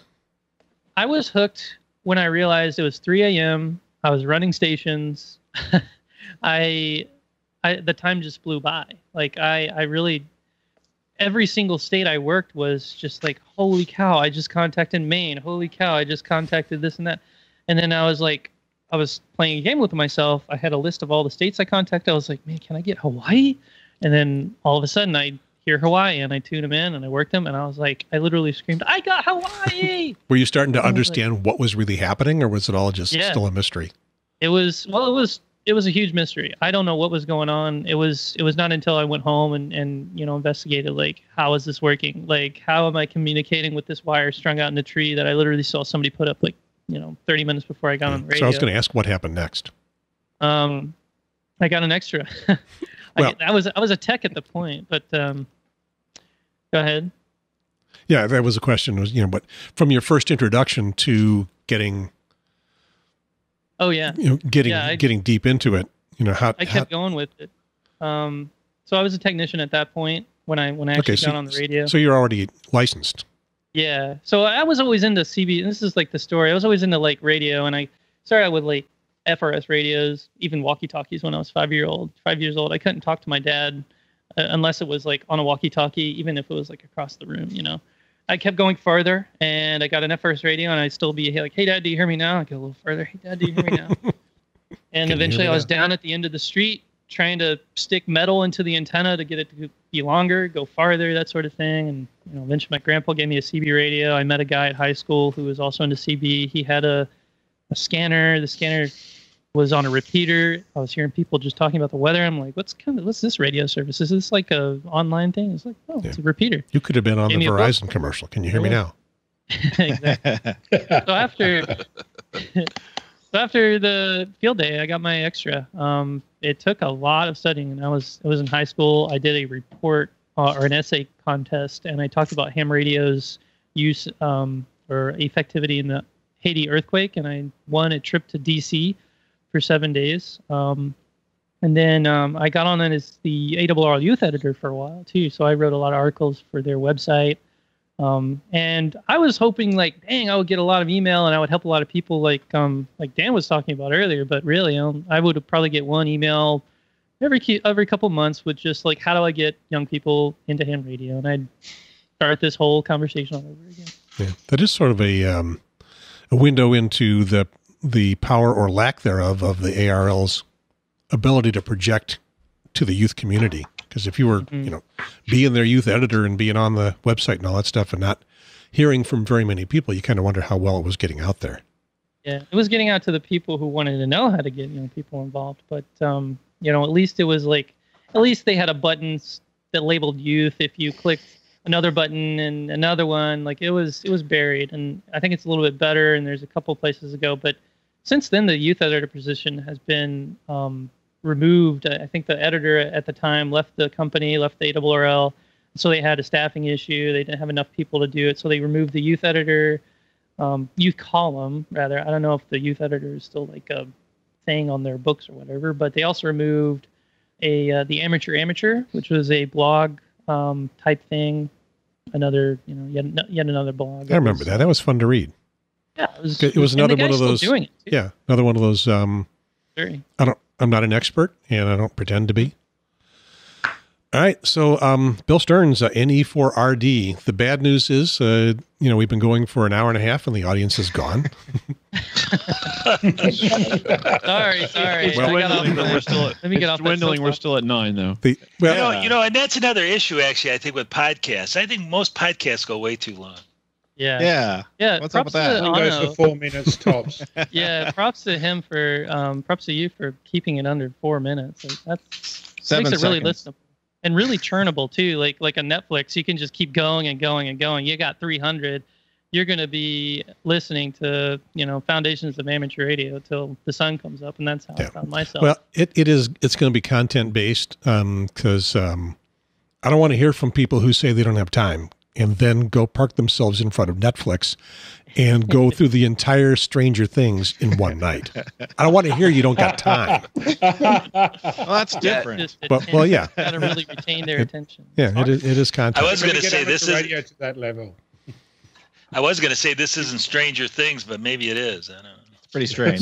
Strange. I've already done an reckon we should episode called Stranger Hands. We should get amateur radio to the point where it is actually on Netflix like that, so Yeah. you can actually, you know, binge watch amateur radio. Mm, you can binge watch it on YouTube. Uh, it's probably as close as we're going to get. and and I've done an episode called Stranger Ham, so we're, we're close. okay, so um, so um, so Bill, you, you are also not responsible for coming up with the uh, the topics of the shows that you're in, right? Uh, no, I actually uh, come up with most of the topics uh, Ah. for uh, yeah. So let's find out how. Well, well, normally it, it comes to recording day, which is normally Monday, and uh, so I wake up Monday morning and I go in and look at our notepad and I say, okay, is there anything that we're going to talk about tonight? and uh, uh, normally it's empty or it's got like one or two things in it.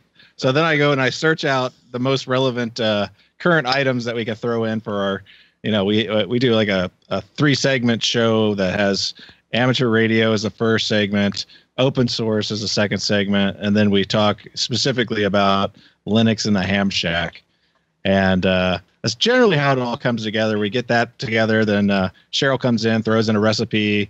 Uh, uh, Russ goes and finds some music to throw in the intermission while we yeah, you guys play a drinks. song. Nobody else does. I, I do that if there happens to be, you know, something, some some piece of music that is part of whatever we're doing. But I don't just Yeah, play we a random generally song. look for yeah, we generally look for some Creative Commons music that we can uh, put on there to stay with the uh, you know the open source theme of the program and not and get, uh, not get a takedown. yeah, not get a takedown. we have put some uh, licensed material on there before, and it hasn't been a problem because we've gotten permission from the author to to put it up there and stuff like that. But uh, yeah, it's uh, it, it all comes together. You know, I'm I'm just like them. I, I you know use Reddit, I use Google to find inspiration of uh, of what the topics are. Generally, I don't use uh, other podcasts to use the information just because it's probably dated by the time we get ours edited to go out. You know, we do live stream when we put it out, but generally it can be like a week or two before it actually goes out. So I try not to uh, to have something that's been rehashed so many times and stuff like that in the program. Um, but we've been going on. Uh, I, I started with Linux in the Ham Shack about two years ago, about a, a little over a year and a half ago, uh, before uh, Dayton uh, 2016, and um, and the program's been going on since 2008. So we uh, we just finished up our ninth year here uh, with the episode 200. We brought in uh, the originator of the show, Richard, and uh, some co-hosts that were on the show before that, and it was a pretty fun show. And uh, yeah, we're looking forward. We're on a break right now, taking a a, a, a definite needed break of uh, putting together content. We're going to kind of retool the the format a little bit and uh, restart recording again in January on January eighth. So so the uh, the guy that started the show initially um, uh, handed it off. Yeah, I believe uh, Richard out? started the show. Yeah, he started the show, and he's had some other shows like uh, Resonant Frequency and stuff like that over the years. Um, Russ joined early on, very like you know first uh, first or second episode, and uh, he's been with it ever since. So he's more of a, a co co creator, if you want to call it that. So I mean, Russ has been around for the whole thing. And uh, he continues to drive the program, and uh, uh, he's been churning through uh, co-hosts. So I'm uh, I'm co-host number like four or five or whatever. So we'll see how long I last.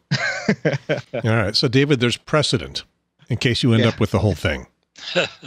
yeah, you could be the next. Yeah, I, I'm working towards it. Yep. I know that. Yeah. I know that. Uh, I know that's the plan. It's it's pretty so much the plan. I'm not going to totally go to take away. a break? I'm sorry. What's that?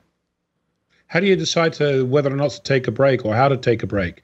I mean, Foundations of Amateur Radio is every week. We broadcast the news every week. You know, I've just been on a on a month holiday for the first time in five years, but the, the show still went to air. How do you decide if you actually take a break or Oh, I get it. I th- produce and I thought pre-roll you, and I thought you were that? telling us that you needed to go to the bathroom. no, no, no, no, no, no, no, no. no, uh, you know we we basically. Oh, somebody dropped off. Um, Yeah, those same. yeah, we basically decide. Uh, you know, our our show isn't really a news program, so we don't offer current news based upon just being the you know talking about current news. You know, we're not a news program. They are there are other amateur radio programs that do that. We uh, we bring up topics of interest to us. So if, if the news item interests us and we have an interesting take on it, or maybe an opinion about it, or or some other relevant piece of the of the of the the news item, that that's why it gets in the program. If we have no interest on it, it's uh, it's quite obvious and it just dies on the vine. It's like yeah, I'll, I'll read the short blurb and nobody has a comment. It's like okay, well I shouldn't have even included this one. Let me just throw this out. Bueller, just keep on moving. Bueller, anyone, Yeah, exactly. Bueller.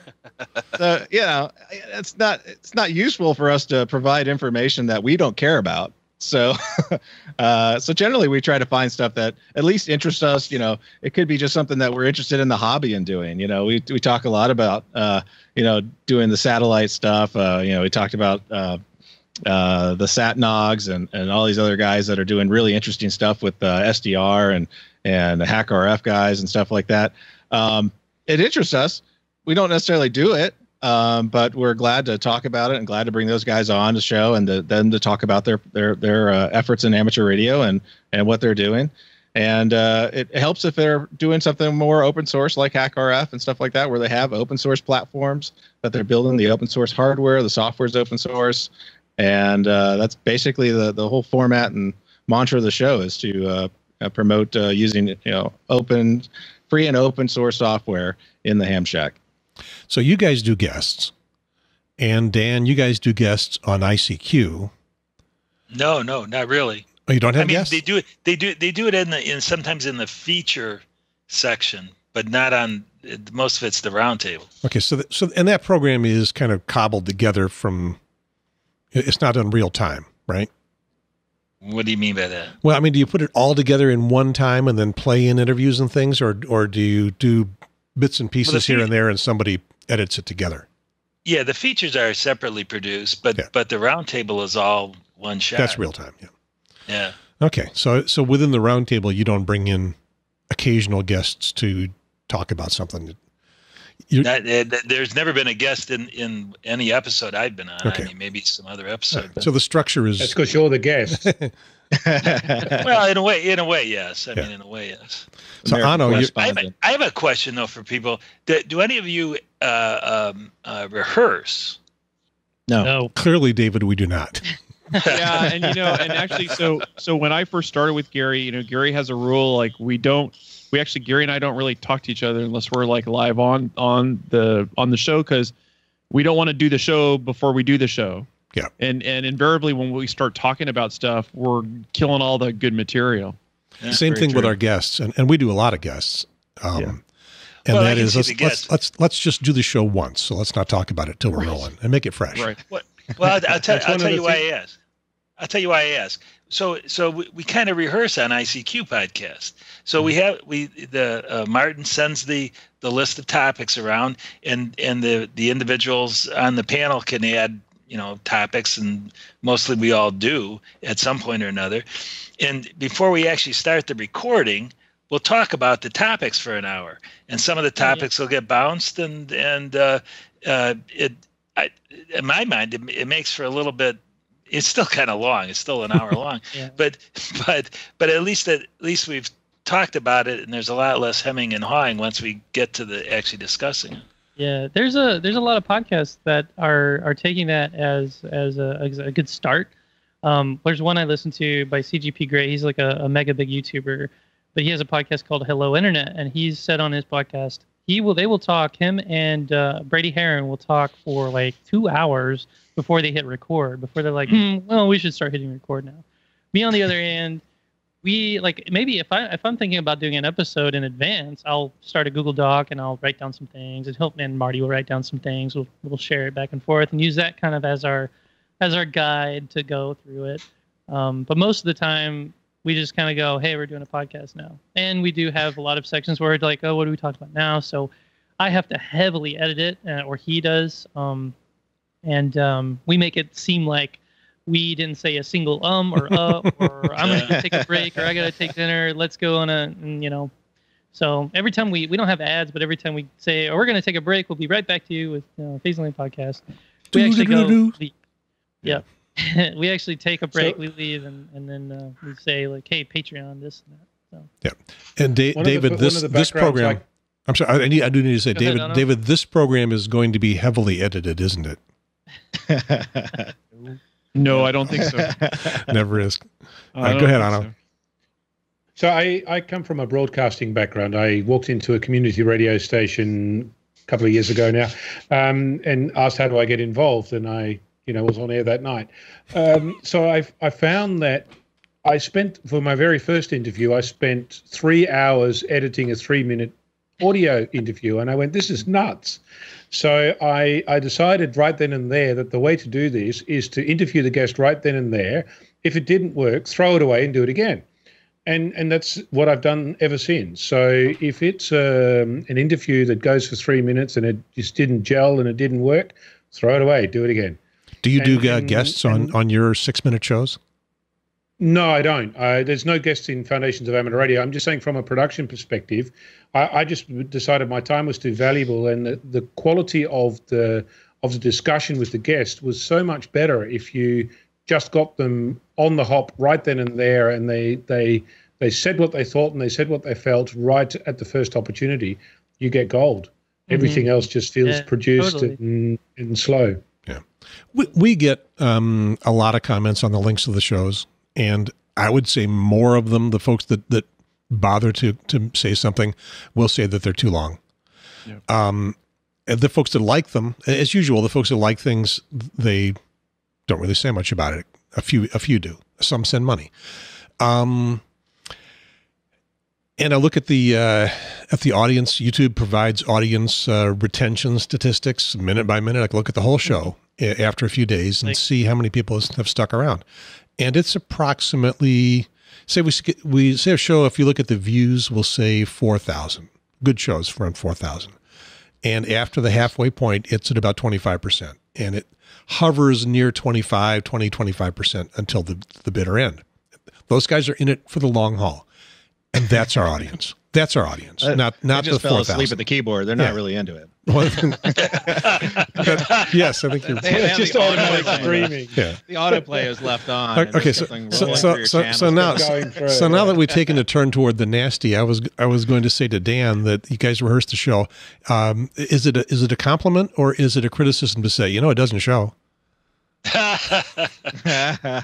well, you know, so so even though we, we I mean, it's it's not it's not really a, a rehearsal, right? Because we don't have a script. In the mm-hmm. end, even though we talk about the topics beforehand, guys will still throw in ideas that may have occurred to them since we talked about it or whatever. But so it, it it's not just a rehash of our pre-show talk. Yeah, If and we that makes sense. Right. and we all end up at, at at at the end of a show or maybe listening to it afterwards, saying, oh, "I wish I had said something."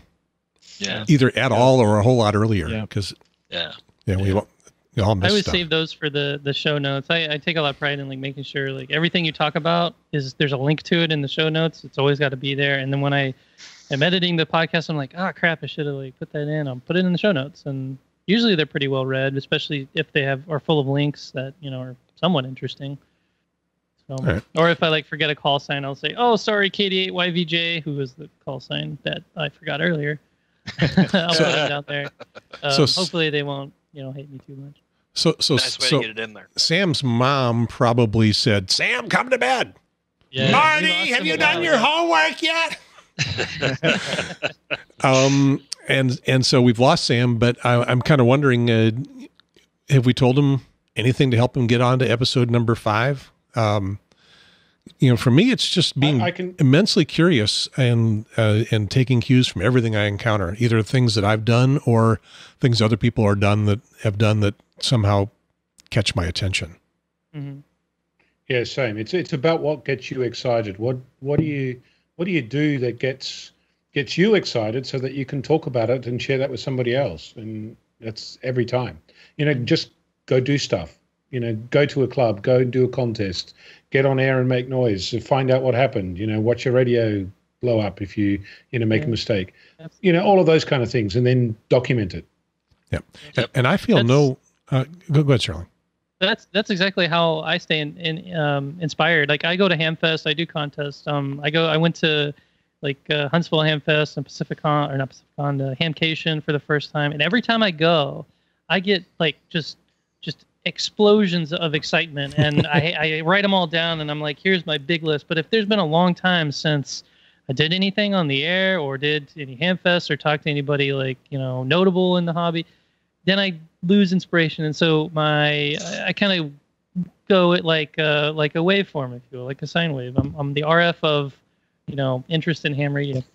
Um, but keep yourself involved and around the circles, and you know joining a club is the easiest way to to do that. Um, you know, as long as the club is very willing to keep you you know engaged. Um, I also take feel opportunities as they come along. Is Yeah. is I mean, we had uh, the guys that went to Amsterdam Island, FT5 Z- Zulu Mike, and uh, VK uh, VK Zero Echo Kilo. They they all came to VK Six to uh, you know set out on their DXpeditions, and I um, you know I I collared them and I I grabbed them and and did interviews with them. And you know they're amongst one of the, the, the most documented parts of those DXpeditions you know, they're not actually part of Foundations of Amateur Radio. They're on the same website, um, but but they're interviews about stuff that's happening around you. Now, I feel no obligation to personally do everything I talk to people about. In fact, I, almost, I do almost none of them. Yeah, I do some of the digital voice modes on VHF. I've got sitting behind me. There's a, a FreeDV box that I've never even connected. Um, but most of it, I don't do it. Um, yeah. I'm, I'm the same. Like I the first I got on the radio for the first time in in months. This just this last weekend for sweepstakes, and I mean I, I personally don't like repeat like don't like chatting on repeaters. Don't like you know pulling up a radio and just talking. But you know I, I really like ham radio for the technology and, and for the camaraderie that we have here. You know and and so when I do get on the radio, it's like I think I don't don't do it too much because I end up spending I end up forgetting the time and then I realize oh it's way too late I need to go. yeah, most of mine is mobile because it's it's the opportunity.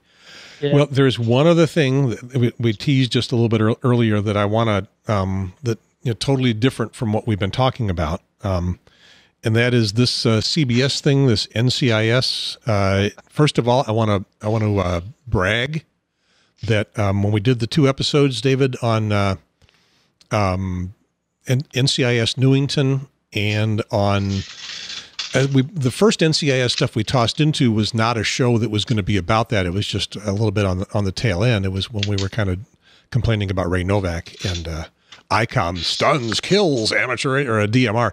Um, CBS filed takedowns. CBS filed takedowns on Facebook because they don't have the op, op, the option for monetization, and they filed monetization on uh, uh, YouTube. and um, and you probably uh, remember that. Um, let's bring up here full screen. Uh, you probably remember that I looked in the camera and said, "CBS, this is fair use. Don't file a takedown." And they and did. what did I say? you said it's a robot. They're going to do it anyway. It's a robot. They're going to do it anyways. Yeah. So so it they did take long, right? Yeah, they, they did by the next day, and I filed a um, uh, an appeal or a dispute, and they and and and for the first time because this is this is something called fair use. You can use this stuff if if you're transforming it, not using it all, not using the heart of it.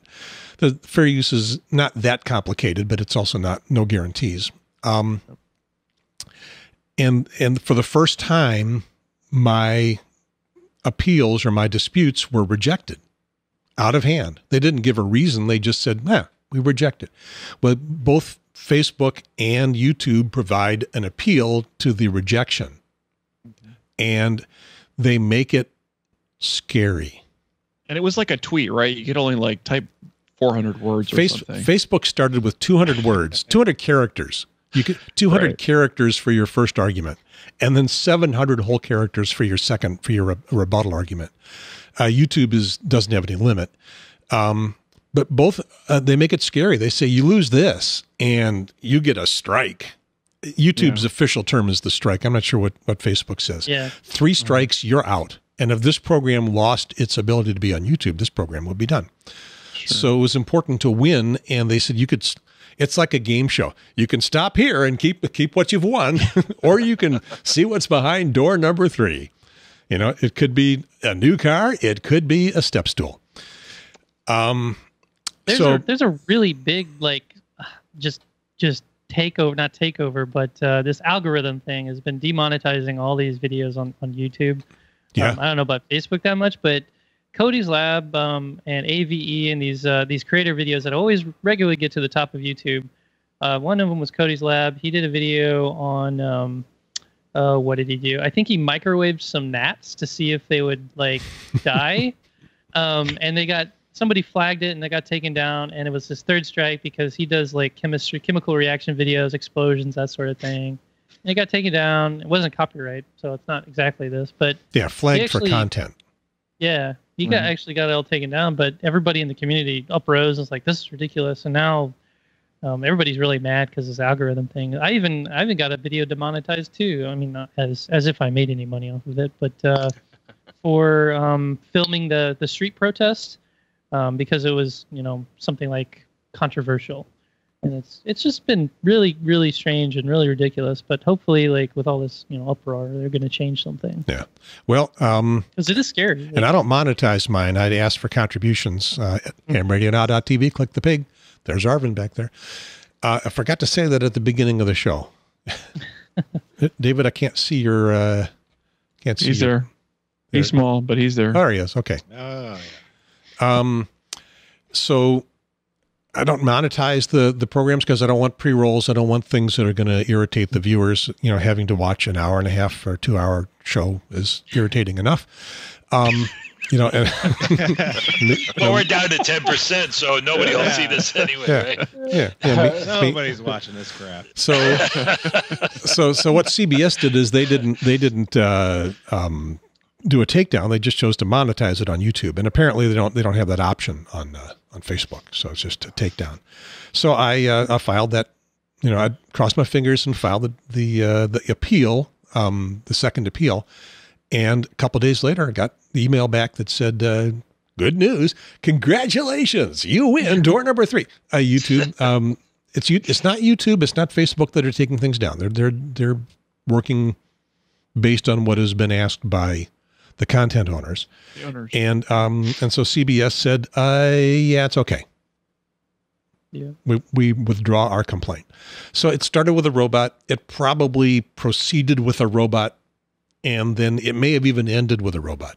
Just saying, okay, this guy is apparently serious because he has gone to the three steps and and uh, um, I don't know if, if we ever got a person to, to look at the show and look at the material around what they were complaining about. Don't know if we But ever got tried to watch it, but they couldn't finish. Otherwise, it. you have another rabbit hole, right? sure, they could get through all of it. Couldn't- couldn't get through the whole show. Yeah, All right. kind of slept on it. So the the thing that that I'm left with is um, there's this NCIS show. It's one of the most popular programs in prime time on CBS, and this is what they said about amateur radio. If I can make it play. I've got to put some clothes on. That's the ham. Reason why stereotypes exist, McGee. Yeah. Well, this guy has uh, no driver's license, no home phone, no cell phone, no reportable income since 2007. So I think this guy's going to be exactly who you picture when you think of ham radio weirdo. And that, and that, ladies and gentlemen, is my case. That is what CBS prime time told probably 25 million people. Yeah. How do you feel about that? Why hasn't the bad. ARRL said anything about that yet? Well, they either will. They have to, you know, choose their battles, and I don't think they. Uh, they have like a lot, lot more, um, a bigger fish to fry, and I think the community That- really like took this. Um, it's to entertainment. Who But cares? it's true, yeah. Like look how popular it got, ham radio. But Even the news doesn't represent the news right. Come on, Yeah. it's it's it's, it's just uh just some one person's vision of one thing, and they did it for a for Yeah. a funny line. and I don't know uh, the impact, but it is kind of. It, you re, you- as hams, we look at it and it's like, oh man, I'm not a weirdo, am I? Well, look at all the preppers and stuff like that. I mean, that's we- really we where that comes from. Like, Right. I, I feel like maybe ham radio weirdo because we have ham radio weirdos, and you Oh, know, yeah. you know, We do. strange people. Actually, Uh, Missouri's home One to or two the of them uh, on the show right now, probably. Yeah. Missouri's home to this guy who has a car with um I don't know about 200 antennas on it. So Yeah, yeah. yeah. and you know a missing Right. fender. So, so okay, so let's take it another angle, right? I'm very active in the Boy Scouts as well. So if they had been talking about that Boy Scout leader and and what they were doing or or whatever, I know that you know the folks down in Irving, Texas, would have been you know at CBS's door in a big way. Yeah. I mean, that's Well, that's you know, they, they kind That's a of big that's a difference though. There's they they kind of went at it from both angles though. I mean, on one hand, you get the you know that ham radio was the only way to, to get your message out during Katrina and and whatever the other disaster was at 9/11. And then, you know, they turn around and they say, well, you know, these are are the the weirdos or whatever. But in all honesty, I see that as being the general um, opinion, maybe, of somebody that doesn't know what amateur radio is. They're the weirdos. They're the ones that have the antennas on top of their house and on top of their car, and, and you know, they're dorks or nerds or whatever. No offense there, uh, Bill, but. Uh, you know, Curtis, Curtis, you're all wrong, man. There are there are some definite weirdos in the hobby. Yeah. there are some weirdos in the hobby. Yeah, and That's th- like they- everything. they're not always out front. You know, go to go to just some random field day locations, and you'll you'll inadvertently run into some of these weirdos. um, you know, and it it, it can uh, it can uh, add value or devalue uh, the image of the hobby or your club or any any particular thing. But it's it's the same thing when you're running a business or something like that. You know, you, you want to have a certain image, and uh, you know we're we're we're just a, a, a hobby for people. You know, anybody can join. There's no barrier to entry now. You know, you just have to go take a test, which you know just about anybody can do. They even have it. You know, you don't have to be able to read anymore because now they can give it to you verbally and and well, they've everything able else. to do that. Yeah, so you know, it's, it's it's it's not like we really have an image to uphold. I mean, the ARRL has an image to you know get more subscribers and get more members and stuff like that, and that's really the only thing they care about. I mean, Crazy just talking cat about ham here. radio, just talking about ham radio on national TV is is advertisement enough. You know, there's no such thing as bad advertising when you know they don't have a budget to advertise on CBS. Yeah, that was that was a free ticket. Yeah. Yeah, and, and and Curtis, you're right. They did um, they did spend some time saying we we did nice things, and and David and I discussed that. We think that that was added to the script after they realized how badly they trashed us for the rest of the Yeah, show. it's yeah, that's you know entirely possible. The the one thing that I really wish that they would have done a little bit better job of. I mean, you know, I'll I'll give the the uh, uh, you know the stereotype that they said with the guy standing outside the door. But the one thing that I really wish they would have done a little better is simply the um, you know not using the handles or using a call sign. You know, since that show is based here in the U.S., using a call sign that's that's at least close to what we are. They Yeah, really that did their research on the station, but then they just mucked up the whole. that wasn't even a, a, a bad uh, Australian uh, call sign. Onno's got Got his question. hand up there. No, He's, actually, he either Onno, really has to go- go to the for it, bathroom now or No, no, no, I've got a question. Jump in. Uh, or a, co- a comment, rather. Um, there's this quote First they ignore you, then they laugh at you, then they fight you, then you win. So we're at the laughing at us stage, right? They've been ignoring us for a long time. So, you know, we'll see how we go. Yeah, yeah. Yeah. yeah. and I get what everybody's saying. Um, it's just that particular line is the one that that bothered me. That you know, that's the ham radio weirdo. Yeah, it.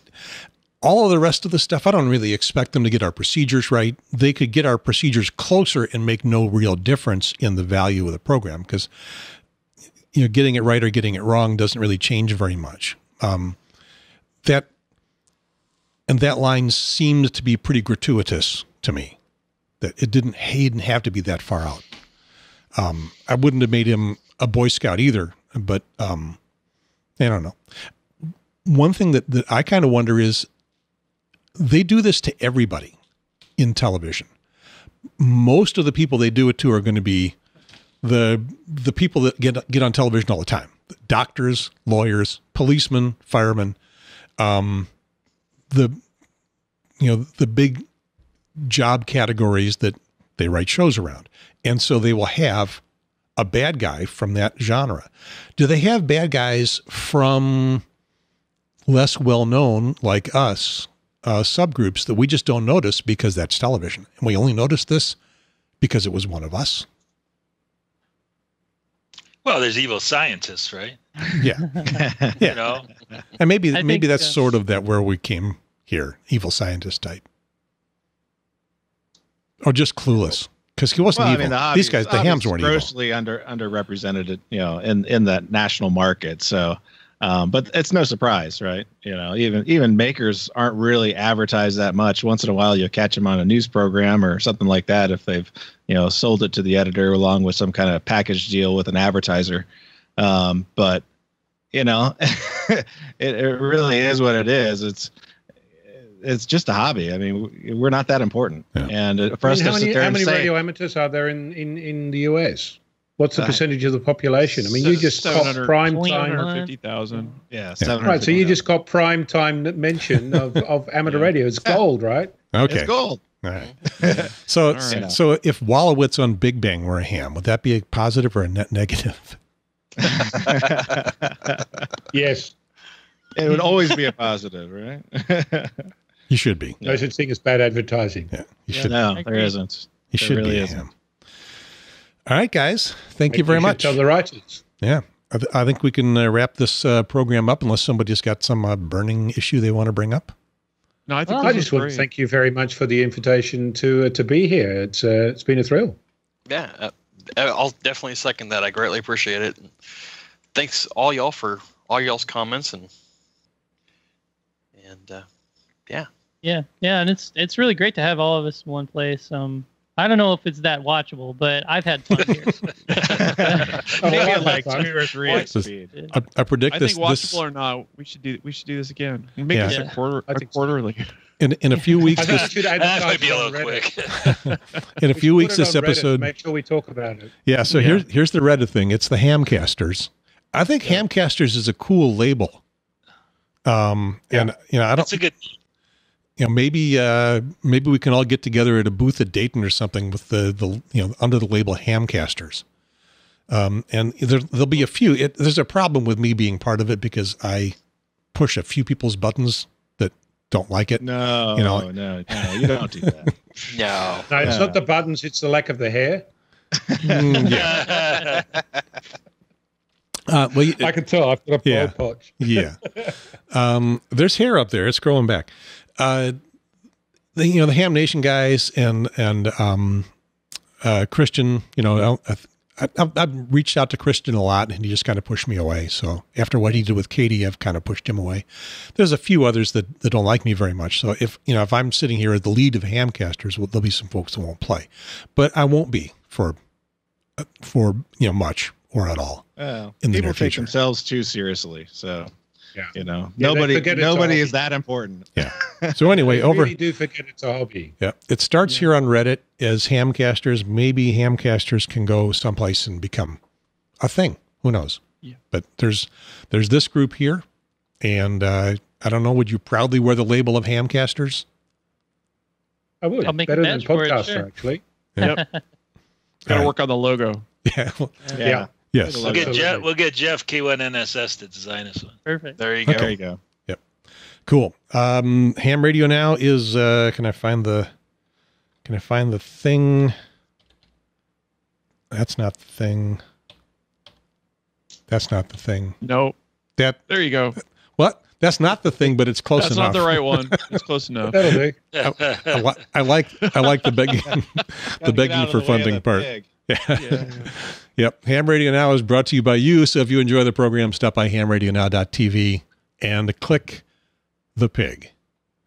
And um, so I am Gary Pierce, desperately trying to get my name up here. KN4AQ, my co-host, I'm David Goldenberg, W0DHG. and um, across the uh, across the board from the upper left is Curtis.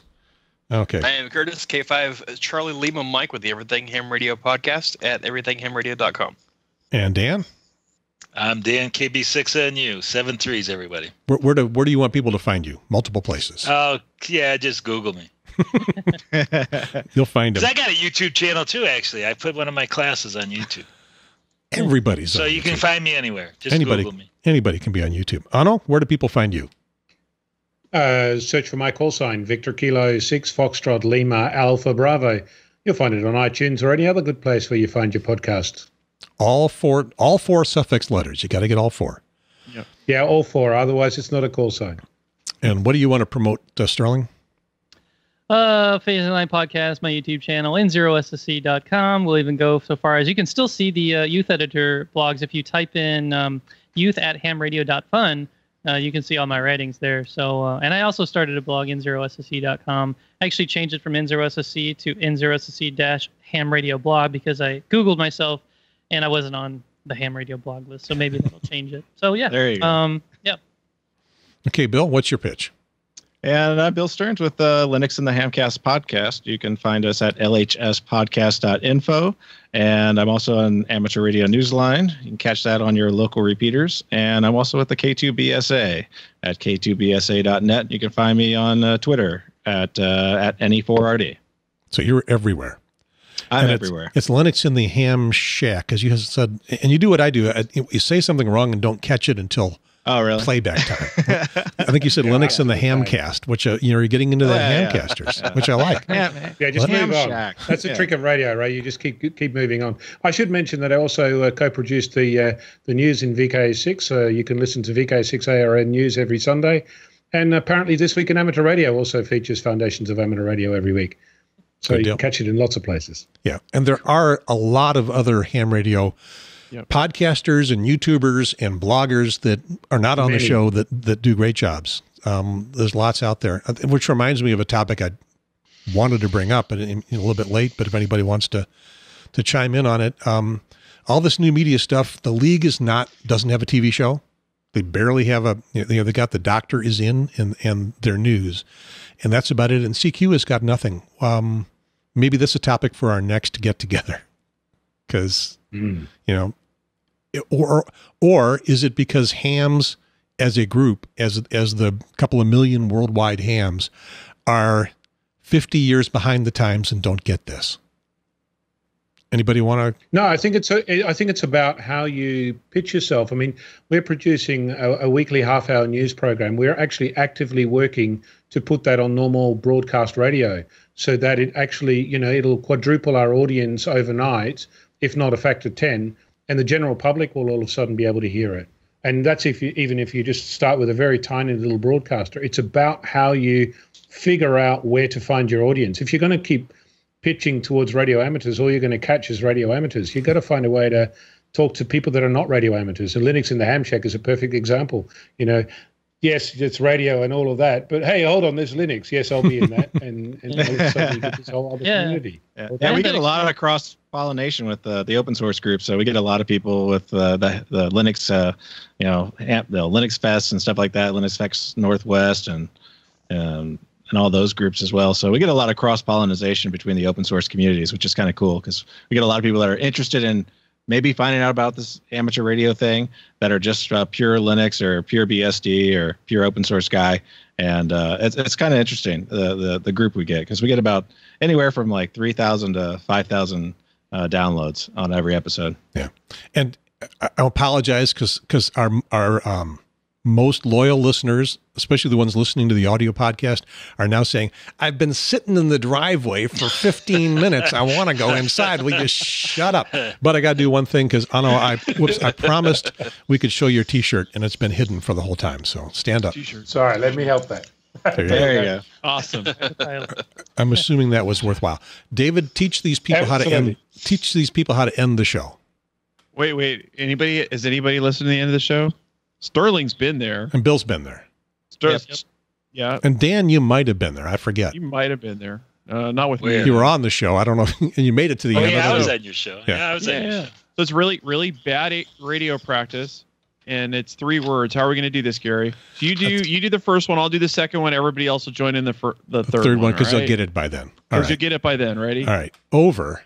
And out.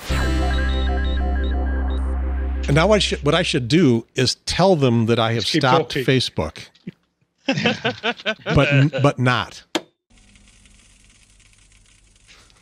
but don't, but don't, Yeah. right? Because- now we're going to record the best part of the show. yeah, the best part always comes when everybody thinks we're done. So But the guy in the driveway, what about him? yeah. Hey, go inside already. Jesus. yeah, get earbuds. cold. Yeah, Yeah. You're just Oh, going into great. summertime now, right? Uh, I know. Well, gentlemen, is, I've got to uh, run. Summer's about to begin. Yeah, See you, it's very Curtis. nice. Good night, Curtis. Hey, Uh, Mike, okay. I know my, Curtis. kid, my Yeah. kids are going to come storm the garage shortly too. Okay, so um, let's all say goodbye to wave goodbye to Facebook. Goodbye, Facebook. Bye, Facebook. Get my lower third in right there. Let's see. Uh, There you go. Oh, nice. Well done. this, this is one of our scripts for uh, those scout things that uh, people don't like, right? There Yeah, that's us. That's. So we got that. I got uh, I got one from uh, the K2BSA. There it is. When we uh, activated NPOTA unit here in the state. So, yeah, kids, kids, kids like it. I mean, you know, ham radio is is kind of weird, and we get a lot of traction with the scouts. You know, here in Montana and also nationally. Um, you know, obviously with the Radio Merit Badge program, you're you're familiar with that. So, uh, yeah, we have we have a pretty good luck with that. So, serious question: How do you how do you allocate resources? I mean, we all have lives. We all, you know, are radio amateurs and podcasting and doing all these million of other things. I mean, we host nets, no doubt, and get on air and do all kinds of weird and wonderful things. How do you allocate resources? How do you decide, you know, if this week is a week that you're going to skip the podcast, or you're just so driven that you have to? He's looking for an out. It's like a sketch. No, no, no. I'm just Uh, wondering how you deal with it. There's an option. well, you know, the ICQ podcast is every two weeks. You know, that's Yeah. just it's regularly It's kinda scheduled, burned and into the schedule. they, Yeah. they have a they have a good good uh, group. You know, and uh, Yeah, we try not to push weeks. I mean, if we have to, we'll push one week, but it really ends up screwing everything up for everybody. So we uh, Yeah. we generally just try to record. if it's bad, it's bad. If it's good, it's good. If not, you know, it doesn't matter. You know, we'll just we'll try to squeeze it in some way or another. But you know, I generally try to keep the the night free, and you know, we have the calendar, you know, pretty much set for the whole year uh, based upon the start date. So it's not too terrible to to do it. You know, we might have an off night where you know one of us is catching something else or something else came up. Yeah, you know, we can generally run the show without each other, so it's not that big a deal. Yeah, and I'm on the other side of the fence. Like oh, we're just ad hoc. We decide at that random. Like if we have a free second, both of us, you know, we'll go. Or if I decide like I really have a good idea on a, on a video I should make, I'll start recording video. Um, but the problem is like five minutes later, I'll be like, oh, I'm gonna go do another thing. We travel a lot. My my fiance Justin and I, we go all over the place. We have friends in Seattle and Atlanta, and we're going to Thailand over Christmas. Went to Austria last year and uh, all over Europe last year for Christmas and that's like high priority because you know everybody says travel when you're young so i'm taking that advice. Um, and her hobby is you know credit card rewards churning there's a whole hobby of uh, of doing that. So it's Yeah. really helpful for me which also lets me go to like things like hamcation and all that stuff to keep inspired and everything and she's really supportive. But um ham radio I, a fraction of my life is really anything you know involved in ham radio. I think i spend more time thinking about doing things than i am doing things which is why i had this blog on you know uh, analysis paralysis or paralysis by analysis um, where i just have so many things thinking about what do i do? I don't know. Um, i got to write them all down and figure out what's the most important thing what's my most favorite thing. So and then you feed that into you know life and happiness and work and everything. And what's what's really most important at the time is just like what i constantly have a a, fe- uh, a while loop going on in, in my brain thinking like is this the right thing? Is this the right thing? So I have a question for you, Onno. Do you do you guys do, do you guys do this on a volunteer basis? Absolutely. Yeah, Yeah, see, so- So so this is the problem. This is why the ARRL doesn't do this. ARRL has a problem with volunteers. They and, and my and honest to God, and, and I've I've written about this. They know how I feel about this, so this is nothing new. I think that if they they got the right the right volunteers, they would be shown up, and they and they don't like to be shown up. So so they don't they don't get people good people to help them do things. and that's what, Interesting. So I should mention that although we have dropped off Facebook, I'm still recording, and I'll put all of this on the end of the show, unless you'd Hey, rather I'm that I don't. oh, you, I'm, Yeah, I'm always problem, happy yeah. to let you do that. Okay. Yeah. All right. Okay. Well, that, Everything I 'cause say that- is always for consumption, Yeah, 'cause that- especially my rants on the ARRL. that- that's that's why we Well, I say mean- this is the best part of the show. Yeah, I mean, you can see what they, you know, who they appreciate by, you know, you know, when Scott left. you know, there was there's a perfect example. You got a really a guy that's, you know, uh, uh, you know, bringing it on and and, and making things happen, and and then they get rid of him. it's like that doesn't make much sense. Yeah. You know, a lot of the things they do doesn't make don't make much sense to me. I, I agree with you, Dan, because because I, I wanted to do a video like series for the ARRL, and, and I wanted to keep doing the, the, the, the column whenever they said, oh, we're not going to have that anymore.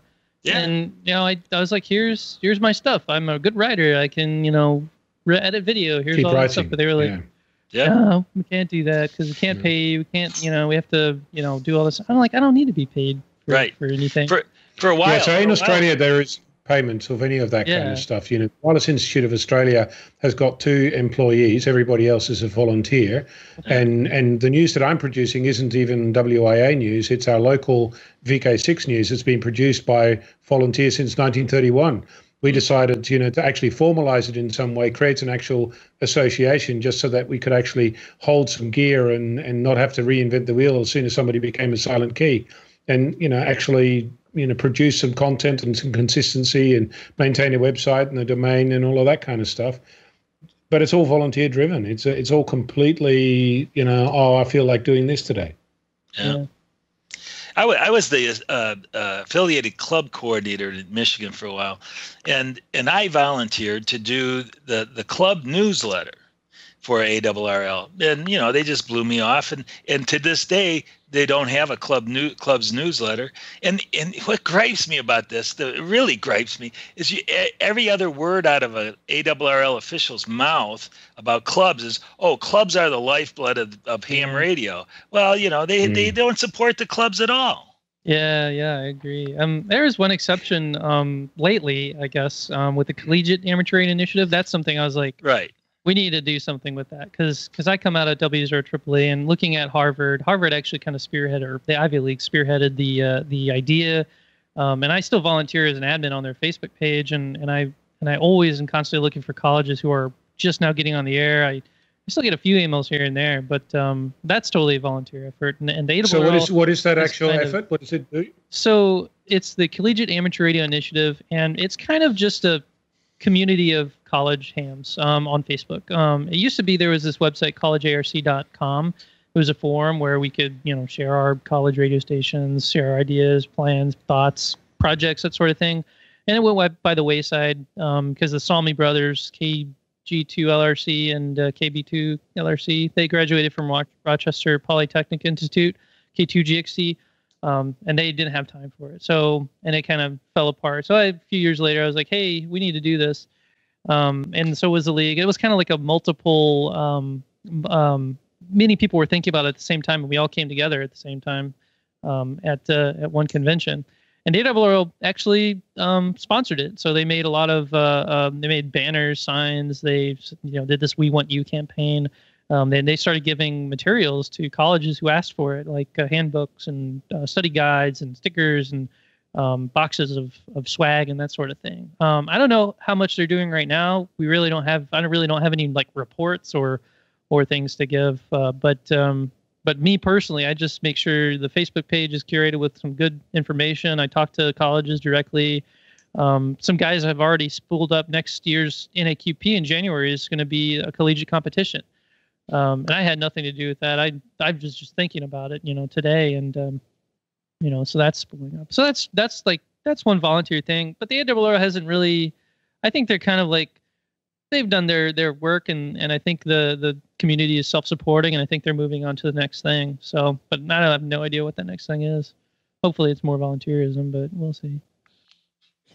So I'm thinking um, what they get criticized for a lot is that they their core membership is DXers and contesters, old old men DXers and contesters, and well, they'll do stuff on the peripheral. They'll put most of their effort in the in Right. that You core. gotta go And I, where I you're- don't know whether that's true or not, but it's the feeling that I hear it expressed. It's the feeling I get. Yeah. I I feel like that's So- also what hams hams in general are like the most hams are going to be those kinds of uh, those kinds of people too. I, I really do think that a couple of years ago, they could have put together this much of a system. This is le- less than fifty thousand dollars in a in a studio, or done it in one of the W one AW studios, and um, and put together a show. Now it, it would uh, um not be my favorite kind of thing because it would be a house organ show. It would be all press release programming, and you know I, They already they already have one of those shows, don't they?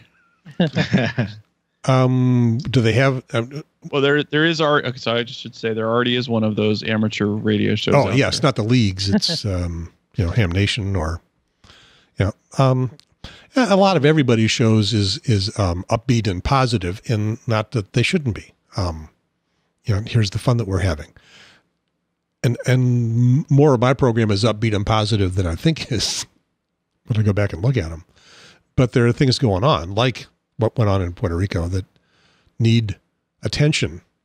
And you know, the rest of the world's media does that sort of stuff, and nothing in ham radio ever does. And you know, since we lost Wayne Green, things that things that don't draw criticism to to things are are kind of strange. Like like ARRL or Ham Nation, there's there's very little, if any, like critics critics there. They all have to be perfect and they have to love everybody, and it has to seem like everything is right in the world. But it isn't, and we have to. There has to be people who talk about those things so that we get them out there. We say, here's what happened. Here's all the facts. Here's you know this viewpoint, that viewpoint, and that's just the way you know.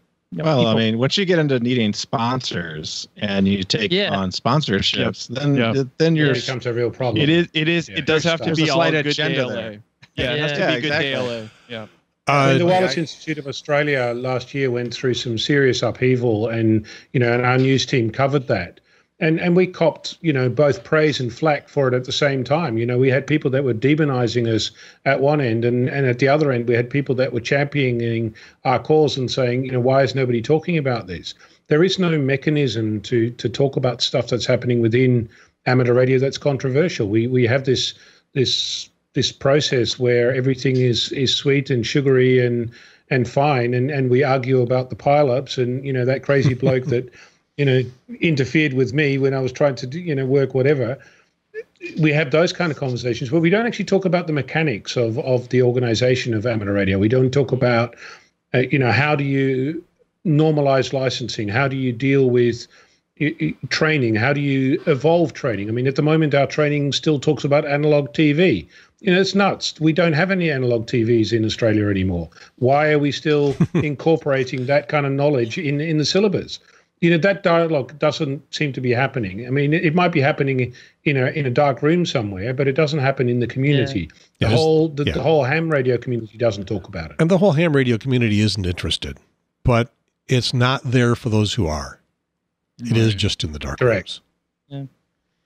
I mean, there is one exception. If you go to QRZ, everything's a everything is a chaos and and uh, controversy, and everybody disagrees on on uh, QRZ.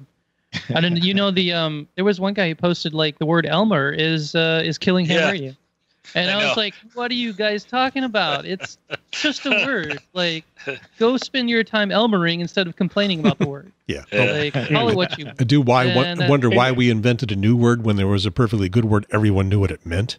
Yeah.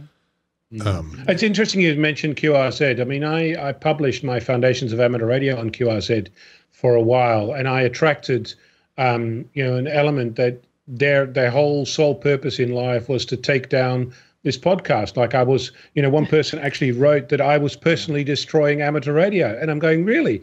I, I have that power. You know, me and my Awesome. three minutes a week, I've I'm destroying Yeah, amateur radio all on my bad- own. Yeah. I, I- I was, but it's just like seriously. I get that all the time for teaching one day tech classes. I Yeah, just I blow them Okay, off. right. Okay, cool. Well, I don't feel so bad now. yeah, what Is there, kind of a good ham can you make in one day? That's right. yeah, that's Well, not but you gotta, ham. but you gotta Grit start. dip meter. All right, I got a, I got a quick special guest to say hey. Come on, come say hey. One of the many hams in my household came to. s- uh, Mostly they came to say feed me dinner. So um, come say come say hi. she's, she's not gonna do it. Oh, come on, come on. Gwen, here she's hiding. Wait, there she is. Which one is Oh, well. this? It's uh, November 6th, Golf Mike Golf. She's hiding out. All right, we're gonna we're gonna say seven three. Hey, I want to thank you guys all, and I'm serious about wanting to do this on a regular basis. I think this was great. Yeah, no and, and we'll, we'll And look awesome. for, for some of the other guys that couldn't make it tonight. And uh, yeah, exactly. uh, Did we get our John- show sponsors John in was- there? I think John was uh, John Jacobs from um, from the uh, outdoor podcast. So he was kind of bummed that it wasn't the right timing, but we'll work it Mm. out. yeah, Give him yeah. a You, little you got to you got to pick a time. I'm impressed how many people we did get. Yeah. Yep. Oh, and Sterling's got Sterling's some family's burgers in just the back home. there too. Yep, I got. All All right. right, I guess. I'm going to uh, say seven three.